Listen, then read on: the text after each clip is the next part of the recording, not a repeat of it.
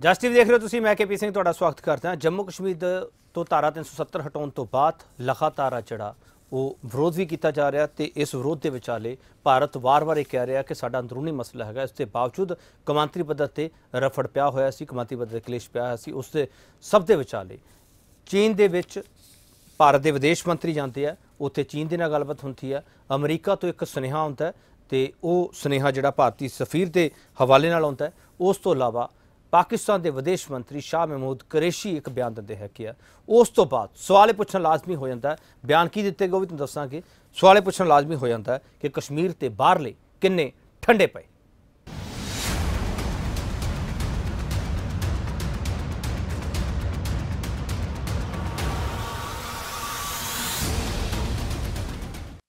ਕਸ਼ਮੀਰ ਤੇ ਵਿਰੋਧ ਅੱਜ ਬਹਿਸ ਇਸ ਲਈ ਕਰ ਰਹੇ ਹਾਂ, ਤੁਹਾਨੂੰ to the point point to point ਦੱਸ ਦਈਏ ਕਿੰਨਾ ਪੁਆਇੰਟਸ ਤੇ ਬਹਿਸ ਹੋਣੀ ਹੈ। ਜੰਮੂ ਕਸ਼ਮੀਰ ਤੋਂ ਧਾਰਾ 370 ਹਟਾਉਣ ਤੋਂ ਬਾਅਦ ਵਿਦੇਸ਼ੀ ਸੁਰ ਨਰਮ ਪੰਜਾਬ ਤੇ ਨਜ਼ਰ ਆਉਂਦੀ ਹੈ ਪਾਕਿਸਤਾਨ ਦੇ ਵਿਦੇਸ਼ ਮੰਤਰੀ ਸ਼ਾਹ ਮਹਿਮੂਦ ਕੁਰੇਸ਼ੀ ਦੇ ਬਿਆਨ ਤੋਂ ਬਾਅਦ ਇਹ ਸਥਿਤੀ ਹੈ ਜਿਹੜੀ ਉਹ ਹੋਰ ਬਿਹਤਰ ਸਾਫ਼ ਨਜ਼ਰ ਆਉਂਦੀ ਪਈ ਹੈ। ਕੁਰੇਸ਼ੀ ਨੇ ਕਿਹਾ, ਗਲਤਫਹਿਮੀ ਚ ਨਾ ਰਹੋ ਕਿ ਸੁਰੱਖਿਆ ਪਰਿਸ਼ਦ ਸਾਡੇ ਲਈ ਕੋਈ ਹਾਰ ਲੈ ਕੇ ਖੜਾ ਹੈ। ਇਹ ਬਹੁਤ ਵੱਡਾ ਬਿਆਨ ਹੈਗਾ। ਭਾਰਤ ਦੇ ਵਿਦੇਸ਼ ਮੰਤਰੀ ਐਸ ਜੈਸ਼ੰਕਰ ਨੇ ਬੀਜਿੰਗ ਵਿੱਚ ਆਪਣੇ ਹਮਰੁਤਬਾ ਨਾਲ ਮੁਲਾਕਾਤ ਕੀਤੀ ਹੈ। ਚੀਨ ਦੇ ਵਿਦੇਸ਼ ਮੰਤਰੀ ਅੱਗੇ ਕਿਹਾ ਕਿ ਆਪਸੀ ਮਤਭੇਦ ਵਿਵਾਦ ਦਾ ਕਾਰਨ ਨਹੀਂ ਬਣਨੇ ਚਾਹੀਦੇ। ਅਮਰੀਕਾ 'ਚ ਭਾਰਤੀ ਸਫੀਰ ਹਰਸ਼ਵਰਧਨ ਦੇ ਮੁਤਾਬਕ ਅਮਰੀਕਾ ਆਪਣੀ ਪੁਰਾਣੀ ਨੀਤੀ ਤੇ ਕਾਇਮ ਹੈ। ਉਹਨਾਂ ਨੇ ਇੱਕ ਟੀਵੀ ਚੈਨਲ ਨੂੰ ਇੰਟਰਵਿਊ ਦਿੰਦਿਆਂ ਇਹ ਇਹ ਸਾਰੀ ਗੱਲ ਕਹੀ ਹੈ ਕਿ ਅਮਰੀਕਾ ਚਾਹੁੰਦਾ ਹੈ ਕਿ ਭਾਰਤ, ਪਾਕਿਸਤਾਨ ਦੋਨੋਂ ਮਿਲ ਕੇ ਇਸ ਮੁੱਦੇ ਨੂੰ ਸੁਲਝਾਉਣ। ਯੂਐਨ ਪਹਿਲਾਂ ਹੀ ਕਸ਼ਮੀਰ ਮਸਲੇ ਤੇ ਦਖਲਅੰਦਾਜ਼ੀ ਤੋਂ ਇਨਕਾਰ ਕਰ ਚੁੱਕਿਆ ਤੇ ਇਹ ਸਭ ਦੇ ਵਿਚਾਲੇ ਪਾਕਿਸਤਾਨ ਦੇ ਵਿਦੇਸ਼ ਮੰਤਰੀ ਸ਼ਾਹ ਮਹਿਮੂਦ ਕੁਰੈਸ਼ੀ ਕੀ ਕਹਿ ਰਿਹਾ ਪਹਿਲਾਂ ਉਹ ਸੁਣ ਲਈਏ। मुकदमा है, ये किसी फ़र्द वाहिद का नहीं है, ये किसी एक जमात का नहीं है, ये किसी एक इलाके का नहीं है। ये पूरे पाकिस्तान का मुकदमा है और पूरे पाकिस्तान ने और कश्मीरियों का मुकदमा है।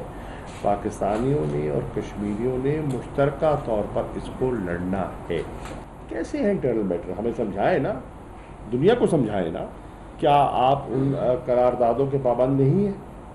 अगर ये इंटरनल मैटर था तो फिर जब हमने कॉम्पोजिट डायलॉग किया, जब हमने कॉम्प्रिहेंसिव डायलॉग किया तो कश्मीर को शामिल क्यों किया उसमें?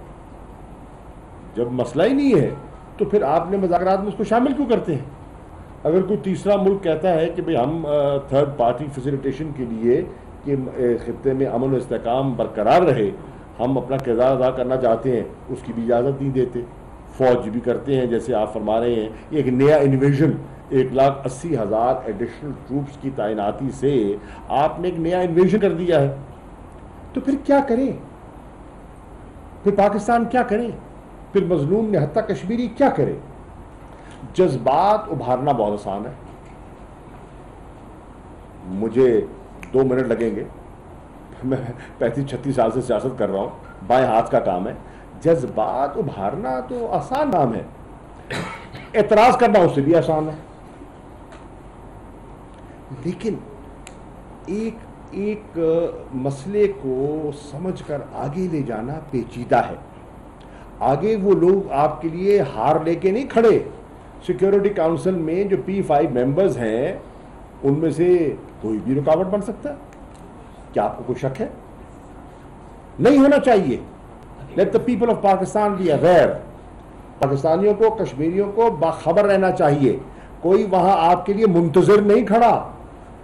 कि कोई आपकी दावत के लिए वहां नहीं खड़ा ये तो आपको एक नई जद्दोजहद का आगाज करना पड़ेगा कोई ऐसा साजगार माहौल नहीं है ਵੱਡਾ ਸਵਾਲ ਇਸ ਡਿਬੇਟ ਦੇ ਵਿੱਚ ਇਹ ਪੁੱਛਿਆ ਜਾਵੇਗਾ ਇਸ ਪੁੱਛਿਆ ਜਾਵੇਗਾ ਕਸ਼ਮੀਰ ਨੂੰ ਕਮਾਂਤਰੀ ਮੁੱਦਾ ਬਣਾਉਣ ਦੀਆਂ ਕੋਸ਼ਿਸ਼ਾਂ 'ਚ ਲੱਗਾ ਪਾਕਿਸਤਾਨ ਬੈਕਫੁੱਟ ਤੇ ਕਿਵੇਂ ਆਇਆ ਇਸ ਸਵਾਲ ਤੇ ਬਹਿਸ ਕਰਾਂਗੇ ਪੈਨਲ ਸਾਡਾ ਮੌਜੂਦ ਹੈਗਾ ਹੁਣ ਤੁਹਾਡਾ ਤਾਰਫ ਕਰਾ ਰਿਹਾ ਅ, ਵਿਕਰਮਜੀਤ ਸਿੰਘ, ਸੀਨੀਅਰ ਪੱਤਰਕਾਰ ਨੇ ਵਿਕਰਮਜੀਤ ਸਿੰਘ ਹਰਾਂ ਨੂੰ ਕਮਾਂਤਰੀ ਪੱਧਰ ਤੇ ਜੋ ਕਸ਼ਮੀਰ ਮੁੱਦੇ ਨਾਲ ਮਸਲੇ ਉਲਝਦੇ ਹੈ ਕੀ ਹੈ ਉਸ ਬਾਰੇ ਚੰਗੀ ਸਮਝ ਹੈ ਕੀ ਹੈ ਇਸ ਕਰਕੇ ਇਹਨਾਂ ਨੂੰ ਸੱਦਿਆ। ਵਿਕਰਮਜੀਤ ਸਿੰਘ, ਤੁਹਾਡਾ ਬਹੁਤ ਸਵਾਗਤ ਹੈ। ਹਰਜੀਤ ਸਿੰਘ ਗਰੇਵਾਲ, ਭਾਰਤੀ ਜਨਤਾ ਪਾਰਟੀ ਬੁਲਾ ਰਿਹਾ ਗਰੇਵਾਲ ਸਾਹਿਬ, ਤੁਹਾਡਾ ਬਹੁਤ ਸਵਾਗਤ ਹੈ। ਬੰਦ ਸਿੰਘ ਬਰਾੜ, ਸੀਪੀਆਈ ਦੇ ਬੁਲਾ ਰਹੇ ਨੇ। ਬਰਾੜ ਸਾਹਿਬ, ਤੁਹਾਡਾ ਬਹੁਤ ਸਵਾਗਤ ਹੈ। ਬਰਗੇਡੀਅਰ ਕੁਲਦੀਪ ਸਿੰਘ ਕਾਲੋ, ਇਹ ਡਿਫੈਂਸ ਐਕਸਪਰਟ ਦੇ ਤੌਰ ਤੇ ਸਾਡਾ ਮੌਜੂਦ ਰਹਿਣਗੇ। ਲੰਬਾ ਸਮਾਂ ਇਹਨਾਂ ਨੇ ਸਰਹੱਦਾਂ ਤੇ ਸੇਵਾ ਨਿਭਾਈ ਹੈ ਤੇ ਇਸ ਵੇਲੇ ਕਸ਼ਮੀਰ ਦੇ ਮਾਮਲੇ ਤੇ ਕਮਾਂਤਰੀ ਪੱਧਰ ਤੇ ਕੀ ਹਾਲਾਤ ਠੰਡੇ ਪੈ ਚੁੱਕੇ ਹੈਗੇ ਆ ਇਹਨਾਂ ਤੋਂ ਸਮਝਣ ਦੀ ਕੋਸ਼ਿਸ਼ ਕਰਾਂਗੇ। ਸਰਹੱਦਾਂ ਤੇ ਕਿਹੋ ਜਿਹਾ ਸੁਰੱਖਿਆ ਬੰਦੋਬਸਤ ਹੈ ਕੀ ਹੈ ਕਾਲੋ ਸਾਹਿਬ, ਤੁਹਾਡਾ ਬਹੁਤ ਸਵਾਗਤ ਹੈ। ਸਭ ਤੋਂ ਪਹਿਲਾ ਸਵਾਲ ਗਰੇਵਾਲ ਸਾਹਿਬ, ਤੁਹਾਨੂੰ ਕਰਨਾ ਚਾਹੂੰਗਾ। ਗਰੇਵਾਲ ਸਾਹਿਬ ਪਾਕਿਸਤਾਨ ਇਸ ਮਾਮਲੇ ਤੇ ਹੁਣ ਬੈਕਫੁੱਟ ਤੇ ਨਜ਼ਰ ਆ ਰਿਹਾ। ਕੇਂਦਰ ਸਰਕਾਰ ਵੀ ਇਹੀ ਸੋਚ ਰਹੀ ਹੈ ਜਾਂ ਕੇਂਦਰ ਸਰਕਾਰ ਜਿਵੇਂ ਪਹਿਲਾਂ ਸੋਚਦੀ ਸੀ ਕਿ ਪਾਕਿਸਤਾਨ ਹਮੇਸ਼ਾ ਹੀ ਬੈਕਫੁੱਟ ਤੇ ਹੈ? ਜਾਂ ਉਸੇ ਲਾਈਨ ਤੇ ਖੜੀ ਹੈ। ਇਸ ਤਰ੍ਹਾਂ ਪਾਕਿਸਤਾਨ ਬੈਕਫੁੱਟ ਤੇ ਕਿਉਂ ਆਇਆ ਕਿ ਪਾਕਿਸਤਾਨ ਗੱਲ ਹੀ ਗਲਤ ਕਰ ਰਿਹਾ? ਅਸੀਂ ਕੋਈ ਕਿਸੇ ਦੀ ਧਰਤੀ ਤੇ ਕਬਜ਼ਾ ਨਹੀਂ ਕਰ ਰਹੇ। ਅਸੀਂ ਆਪਣੇ ਦੇਸ਼ ਦੀ ਇੰਟਰਨਲ ਸਿਕਿਉਰਿਟੀ ਸਾਡੇ ਇੰਟਰਨਲ ਜਿਹੜੇ ਇੰਤਜ਼ਾਮ ਨਾਲ ਨੇ ਉਹਨਾਂ ਨੂੰ ਕਿਸ ਤਰੀਕੇ ਨਾਲ ਚਲਾਉਣਾ? ਉਹ ਤਾਂ ਹਿੰਦੁਸਤਾਨ ਦਾ ਇੱਕ ਅਧਿਕਾਰ ਵੀ ਹੈ। ਔਰ ਚਾਈਨਾ ਨੇ ਵੀ ਇਹ ਗੱਲ ਸਮਝ ਲਈ ਸਾਡੇ ਵਿਦੇਸ਼ ਮੰਤਰੀ ਨਾਲ ਮੁਲਾਕਾਤ ਤੋਂ ਬਾਅਦ। ਕਿ ਅਸੀਂ ਕੋਈ ਇਹੋ ਜੀ ਗੱਲ ਕਰਨ ਵਾਲੇ ਨਹੀਂ ਕਿ ਇੱਕ ਦੂਸਰੇ ਦੀ ਧਰਤੀ ਤੇ ਕਬਜ਼ਾ ਕਰਨ ਜਾ ਰਹੇ ਹਾਂ ਜੇ ਅਸੀਂ ਯੁੱਧ ਚਾਹੁੰਦੇ ਹਾਂ ਜਾਂ ਅਸੀਂ ਕਿਸੇ ਨੂੰ ਧਮਕਾਉਂਦੇ ਹਾਂ। ਇਹ ਤਾਂ ਪਾਕਿਸਤਾਨ ਹੀ ਨਜਾਇਜ਼ ਗੱਲ ਕਰ ਰਿਹਾ ਹੈ ਯੂਐਸਏ ਵੀ ਸਮਝਦਾ। ਔਰ ਬਾਕੀ ਦੁਨੀਆ ਨੇ ਵੀ ਸਮਝ ਲਈ ਔਰ ਫਿਰ ਅਰਬ ਕੰਟਰੀਜ਼ ਜਿਹੜੇ ਆ ਉਹਨਾਂ ਨਾਲ ਸਾਡਾ ਵਪਾਰ ਆ ਬਹੁਤ ਅੱਛਾ। ਇਸ ਕਰਕੇ ਉਹ ਪਾਕਿਸਤਾਨ ਇਹੀ ਤਾਂ ਕਹਿ ਰਿਹਾ। ਵਪਾਰ ਕਰਕੇ ਹੀ ਭਾਰਤ ਨੂੰ ਹੁਣ ਕੋਈ ਕੁਝ ਕਹਿ ਨਹੀਂ ਰਿਹਾ। ਨਹੀਂ ਨਹੀਂ। ਖਾਲੀ ਇਹ ਗੱਲ ਨਹੀਂ ਹੈ। ਸਾਡੇ ਸੰਬੰਧ ਵੀ ਉਹਨਾਂ ਨਾਲ ਬਹੁਤ ਅੱਛੇ ਬਣੇ ਹੋਏ ਆ। ਔਰ ਮੋਦੀ ਜੀ ਲਗਾਤਾਰ ਜਾ ਰਹੇ ਆ। ਪਹਿਲਾਂ ਵੀ ਬਹੁਤ ਜ਼ਿਆਦਾ ਉਹਨਾਂ ਨੇ ਵਿਦੇਸ਼ਾਂ 'ਚ ਗਏ। ਔਰ ਦੂਸਰਾ ਕੀ ਹੈ ਕਿ ਚਾਈਨਾ ਦੀਆਂ ਆਪਣੀਆਂ ਬਹੁਤ ਜ਼ਿਆਦਾ ਸਮੱਸਿਆਵਾਂ ਨੇ। ਜਿਸ ਤਰ੍ਹਾਂ ਹਾਂਗਕਾਂਗ ਹੈ ਉੱਥੇ ਮੁਸਲਿਮ ਸਮੱਸਿਆ ਵੀ ਹੈ ਹੋਰ ਬਹੁਤ ਸਾਰੀਆਂ ਨੇ। ਤੇ ਚਾਈਨਾ ਇਹ ਨਹੀਂ ਚਾਹੇਗਾ ਕਿ ਸਾਡੇ ਨਾਲ ਅਨਨੈਸੈਸਰਲੀ ਕੋਈ ਭਾਰਤ ਦੇ ਨਾਲ ਇਸ ਤਰ੍ਹਾਂ ਦਾ ਵਿਵਾਦ ਵਧੇ ਜਿਹਦੇ 'ਚ ਭਾਰਤ ਕੋਈ ਗਲਤ ਕਰ ਵੀ ਨਹੀਂ ਰਿਹਾ। ਇਸ ਕਰਕੇ ਸਾਡੀ ਸਰਕਾਰ ਦੀ ਡਿਪਲੋਮੇਸੀ ਸਾਡੇ ਪ੍ਰਧਾਨ ਮੰਤਰੀ ਜੀ ਦੀਆਂ ਨੀਤੀਆਂ ਔਰ ਡਿਪਲੋਮੈਟਿਕ ਰਿਲੇਸ਼ਨਸ ਜਿਹੜੇ ਸਾਡੇ ਹੈਗੇ ਆ ਉਹਦੀ ਵਜ੍ਹਾ ਕਰਕੇ ਇਹ ਸਾਡੇ ਦੇਸ਼ ਨੂੰ ਇਹ ਰੁਤਬਾ ਹਾਸਲ ਹੋਇਆ ਔਰ ਸਾਡੇ ਦੇਸ਼ ਦੇ ਨਾਲ ਦੂਸਰੇ ਜਿਹੜੇ ਨੇ ਉਹ ਕੋਈ ਵੀ ਸਾਡੇ ਇੰਟਰਨਲ ਮਸਲਿਆਂ 'ਚ ਇੰਟਰਫੇਅਰ ਕਰਨ ਨੂੰ ਤਿਆਰ ਨਹੀਂ ਹੈ। ਠੀਕ ਹੈ ਬਸ ਬਰਾੜ ਹੁਣ ਥੋੜਾ ਜਿਹਾ ਤੁਸੀਂ ਆਪਣੇ ਵਿਰੋਧ ਆਵਾਜ਼ ਨੂੰ ਸ਼ਾਂਤ ਕਰੋਗੇ ਕਿ ਕਮਾਂਤਰੀ ਪੱਧਰ ਤੇ ਭਾਰਤ ਦਾ ਵਿਰੋਧ ਹੋਣਾ ਬੰਦ ਹੋ ਚੁੱਕਿਆ ਜਾਂ ਉਹ ਠੰਡਾ ਪੈ ਗਿਆ ਹੈਗਾ? ਅਸੀਂ ਕਿਤੇ ਆਵਾਜ਼ ਮੇਰੇ ਖਿਆਲ ਨਹੀਂ ਇਦਾਂ ਦੀ ਆਈ ਵੀ ਇੰਟਰਨੈਸ਼ਨਲ ਤੌਰ ਤੇ ਅ, ਦੂਸਰੇ ਦੇਸ਼ਾਂ ਨੂੰ ਸਾਡੇ ਹਿੰਦੁਸਤਾਨ 'ਚ ਜਿਹੜੀ ਸਾਡੀ ਆਪਣੀ ਪਾਲਿਸੀ ਆ ਉਸ ਦਖਲ ਦੇਣਾ ਚਾਹੀਦਾ ਹੈ। ਇਹ ਤਾਂ ਮੇਰੇ ਖਿਆਲ ਕੋਈ ਵੀ ਹਿੰਦੁਸਤਾਨ ਦਾ ਕੋਈ ਵੀ ਪੋਲੀਟੀਕਲ ਪਾਰਟੀ ਨਹੀਂ ਕਹੂਗੀ ਨਾ ਨਹੀਂ ਮੈਂ ਸਵਾਲ ਕਰ ਰਿਹਾ ਸੀ ਜਿਹੜਾ ਅੰਦਰੂਨੀ ਵਿਰੋਧ ਤੁਸੀਂ ਕਰ ਰਹੇ ਹੋ ਹੁਣ ਥੋੜਾ ਜਿਹਾ ਅੰਦਰੂਨੀ ਵਿਰੋਧ ਵੀ ਘਟਾਓਗੇ? ਅੰਦਰੂਨੀ ਸਵਾਲ ਉਹ ਵੱਖਰੇ ਹੋਣੇ ਉਹ ਵੱਖਰਾ ਚਲੋ ਕਮਾਂਤਰੀ ਪੱਧਰ ਜਵਾਬ ਦੇ ਦਿਓ ਉਸ ਤੋਂ ਅੰਦਰੂਨੀ ਸਵਾਲ ਲੈ ਲਓ। ਪਹਿਲੀ ਗੱਲ ਤਾਂ ਵੀ ਸਾਡਾ ਆਪਣਾ ਕਨਸਟੀਟਿਊਸ਼ਨ ਹੈ।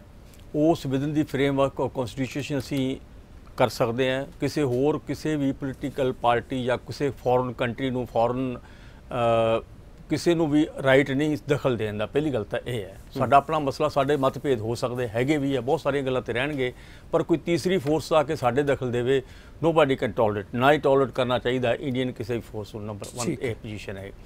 ਔਰ ਇਹ ਬਾਕੀ ਰਹੇਗੀ ਸਾਡੇ ਆਪਣੇ ਇੰਡੀਆ ਦੀ ਡੈਫੀਨਿਟਲੀ ਡਿਫਰੈਂਸ ਹੈ। ਡਿਫਰੈਂਸ ਹੈ ਦੋ ਓਪੀਨੀਅਨ ਹੈਗੀਆਂ। ਇਹਨਾਂ ਨੇ ਜੋ ਕੁਝ ਕੀਤਾ ਅੱਜ ਦੀ ਰੂਲਿੰਗ ਪਾਰਟੀ ਨੇ ਇਮੀਡੀਏਟਲੀ ਸਡਨਲੀ ਬਹੁਤ ਵੱਡਾ ਕਦਮ ਕਰਕੇ ਹੀਰੋਇਜ਼ਮ ਜਾਂ ਜਿੰਗੋਇਜ਼ਮ ਦਾ ਕੋਸ਼ ਕੀਤੀ ਵੀ ਅਸੀਂ ਬੜੇ ਬਹਾਦਰ ਹਾਂ, ਅਸੀਂ ਬੜਾ ਕੁਝ ਕਰ ਸਕਦੇ ਜਿਹੜਾ ਪਹਿਲਾਂ ਕਿਸੇ ਨੇ ਕੀਤਾ ਹੀ ਨਹੀਂ। ਉਹ ਨਹਿਰੂ ਤੇ ਹੋਰ ਤੇ ਗਾਂਧੀ ਤੇ ਸਭ ਤੇ ਅਟੈਕ ਕਰਨਾ, ਜਿਵੇਂ ਪਹਿਲਾਂ ਉਹਨਾਂ ਦੀ ਐਟੀਟਿਊਡ ਹੈ, ਉਹ ਕਰਨਾ, ਉਹਨਾਂ ਨੂੰ ਜਾਰੀ ਰੱਖਣਾ। ਅਸੀਂ ਸਮਝਦੇ ਹਾਂ, ਇਹਦੇ ਨਾਲ ਜਿਹੜੇ ਕਸ਼ਮੀਰੀ ਸੀ, ਹਾਂ, ਇਹ 'ਚ ਕੋਈ ਸ਼ੱਕ ਨਹੀਂ। ਇਹ ਕੋਈ 370 ਕੋਈ ਪਰਮਾਨੈਂਟ ਕਨਸਟੀਟਿਊਸ਼ਨ ਲਿਖਿਆ ਗਿਆ ਵੀ ਹਮੇਸ਼ਾ ਵਾਸਤੇ ਰਹੂਗਾ। ਇਹ ਤਾਂ ਹੈ ਨਹੀਂ ਸੀ ਕਿਤੇ ਵੀ। ਨਾ ਨਹਿਰੂ ਨੇ ਕੀਤਾ ਨਾ ਕਿਤੇ ਕਨਸਟੀਟਿਊਸ਼ਨ ਆ। ਇਹ ਸਾਡੇ ਫਰੇਮਵਰਕ ਹੈ ਵੀ ਸਿਚੁਏਸ਼ਨ ਆਊਗੀ ਅਸੀਂ ਇਹਨੂੰ ਹਟਾ ਵੀ ਸਕਦੇ ਹਾਂ। ਪ੍ਰੈਕਟੀਕਲੀ ਹਟਿਆ ਸੀ। ਪ੍ਰੈਕਟੀਕਲ ਕੀ ਹੈ ਜਦੋਂ ਮਰਜ਼ੀ ਤੁਸੀਂ ਗਵਰਨਰੀ ਰਾਜ ਕਰਦੇ ਹੋ।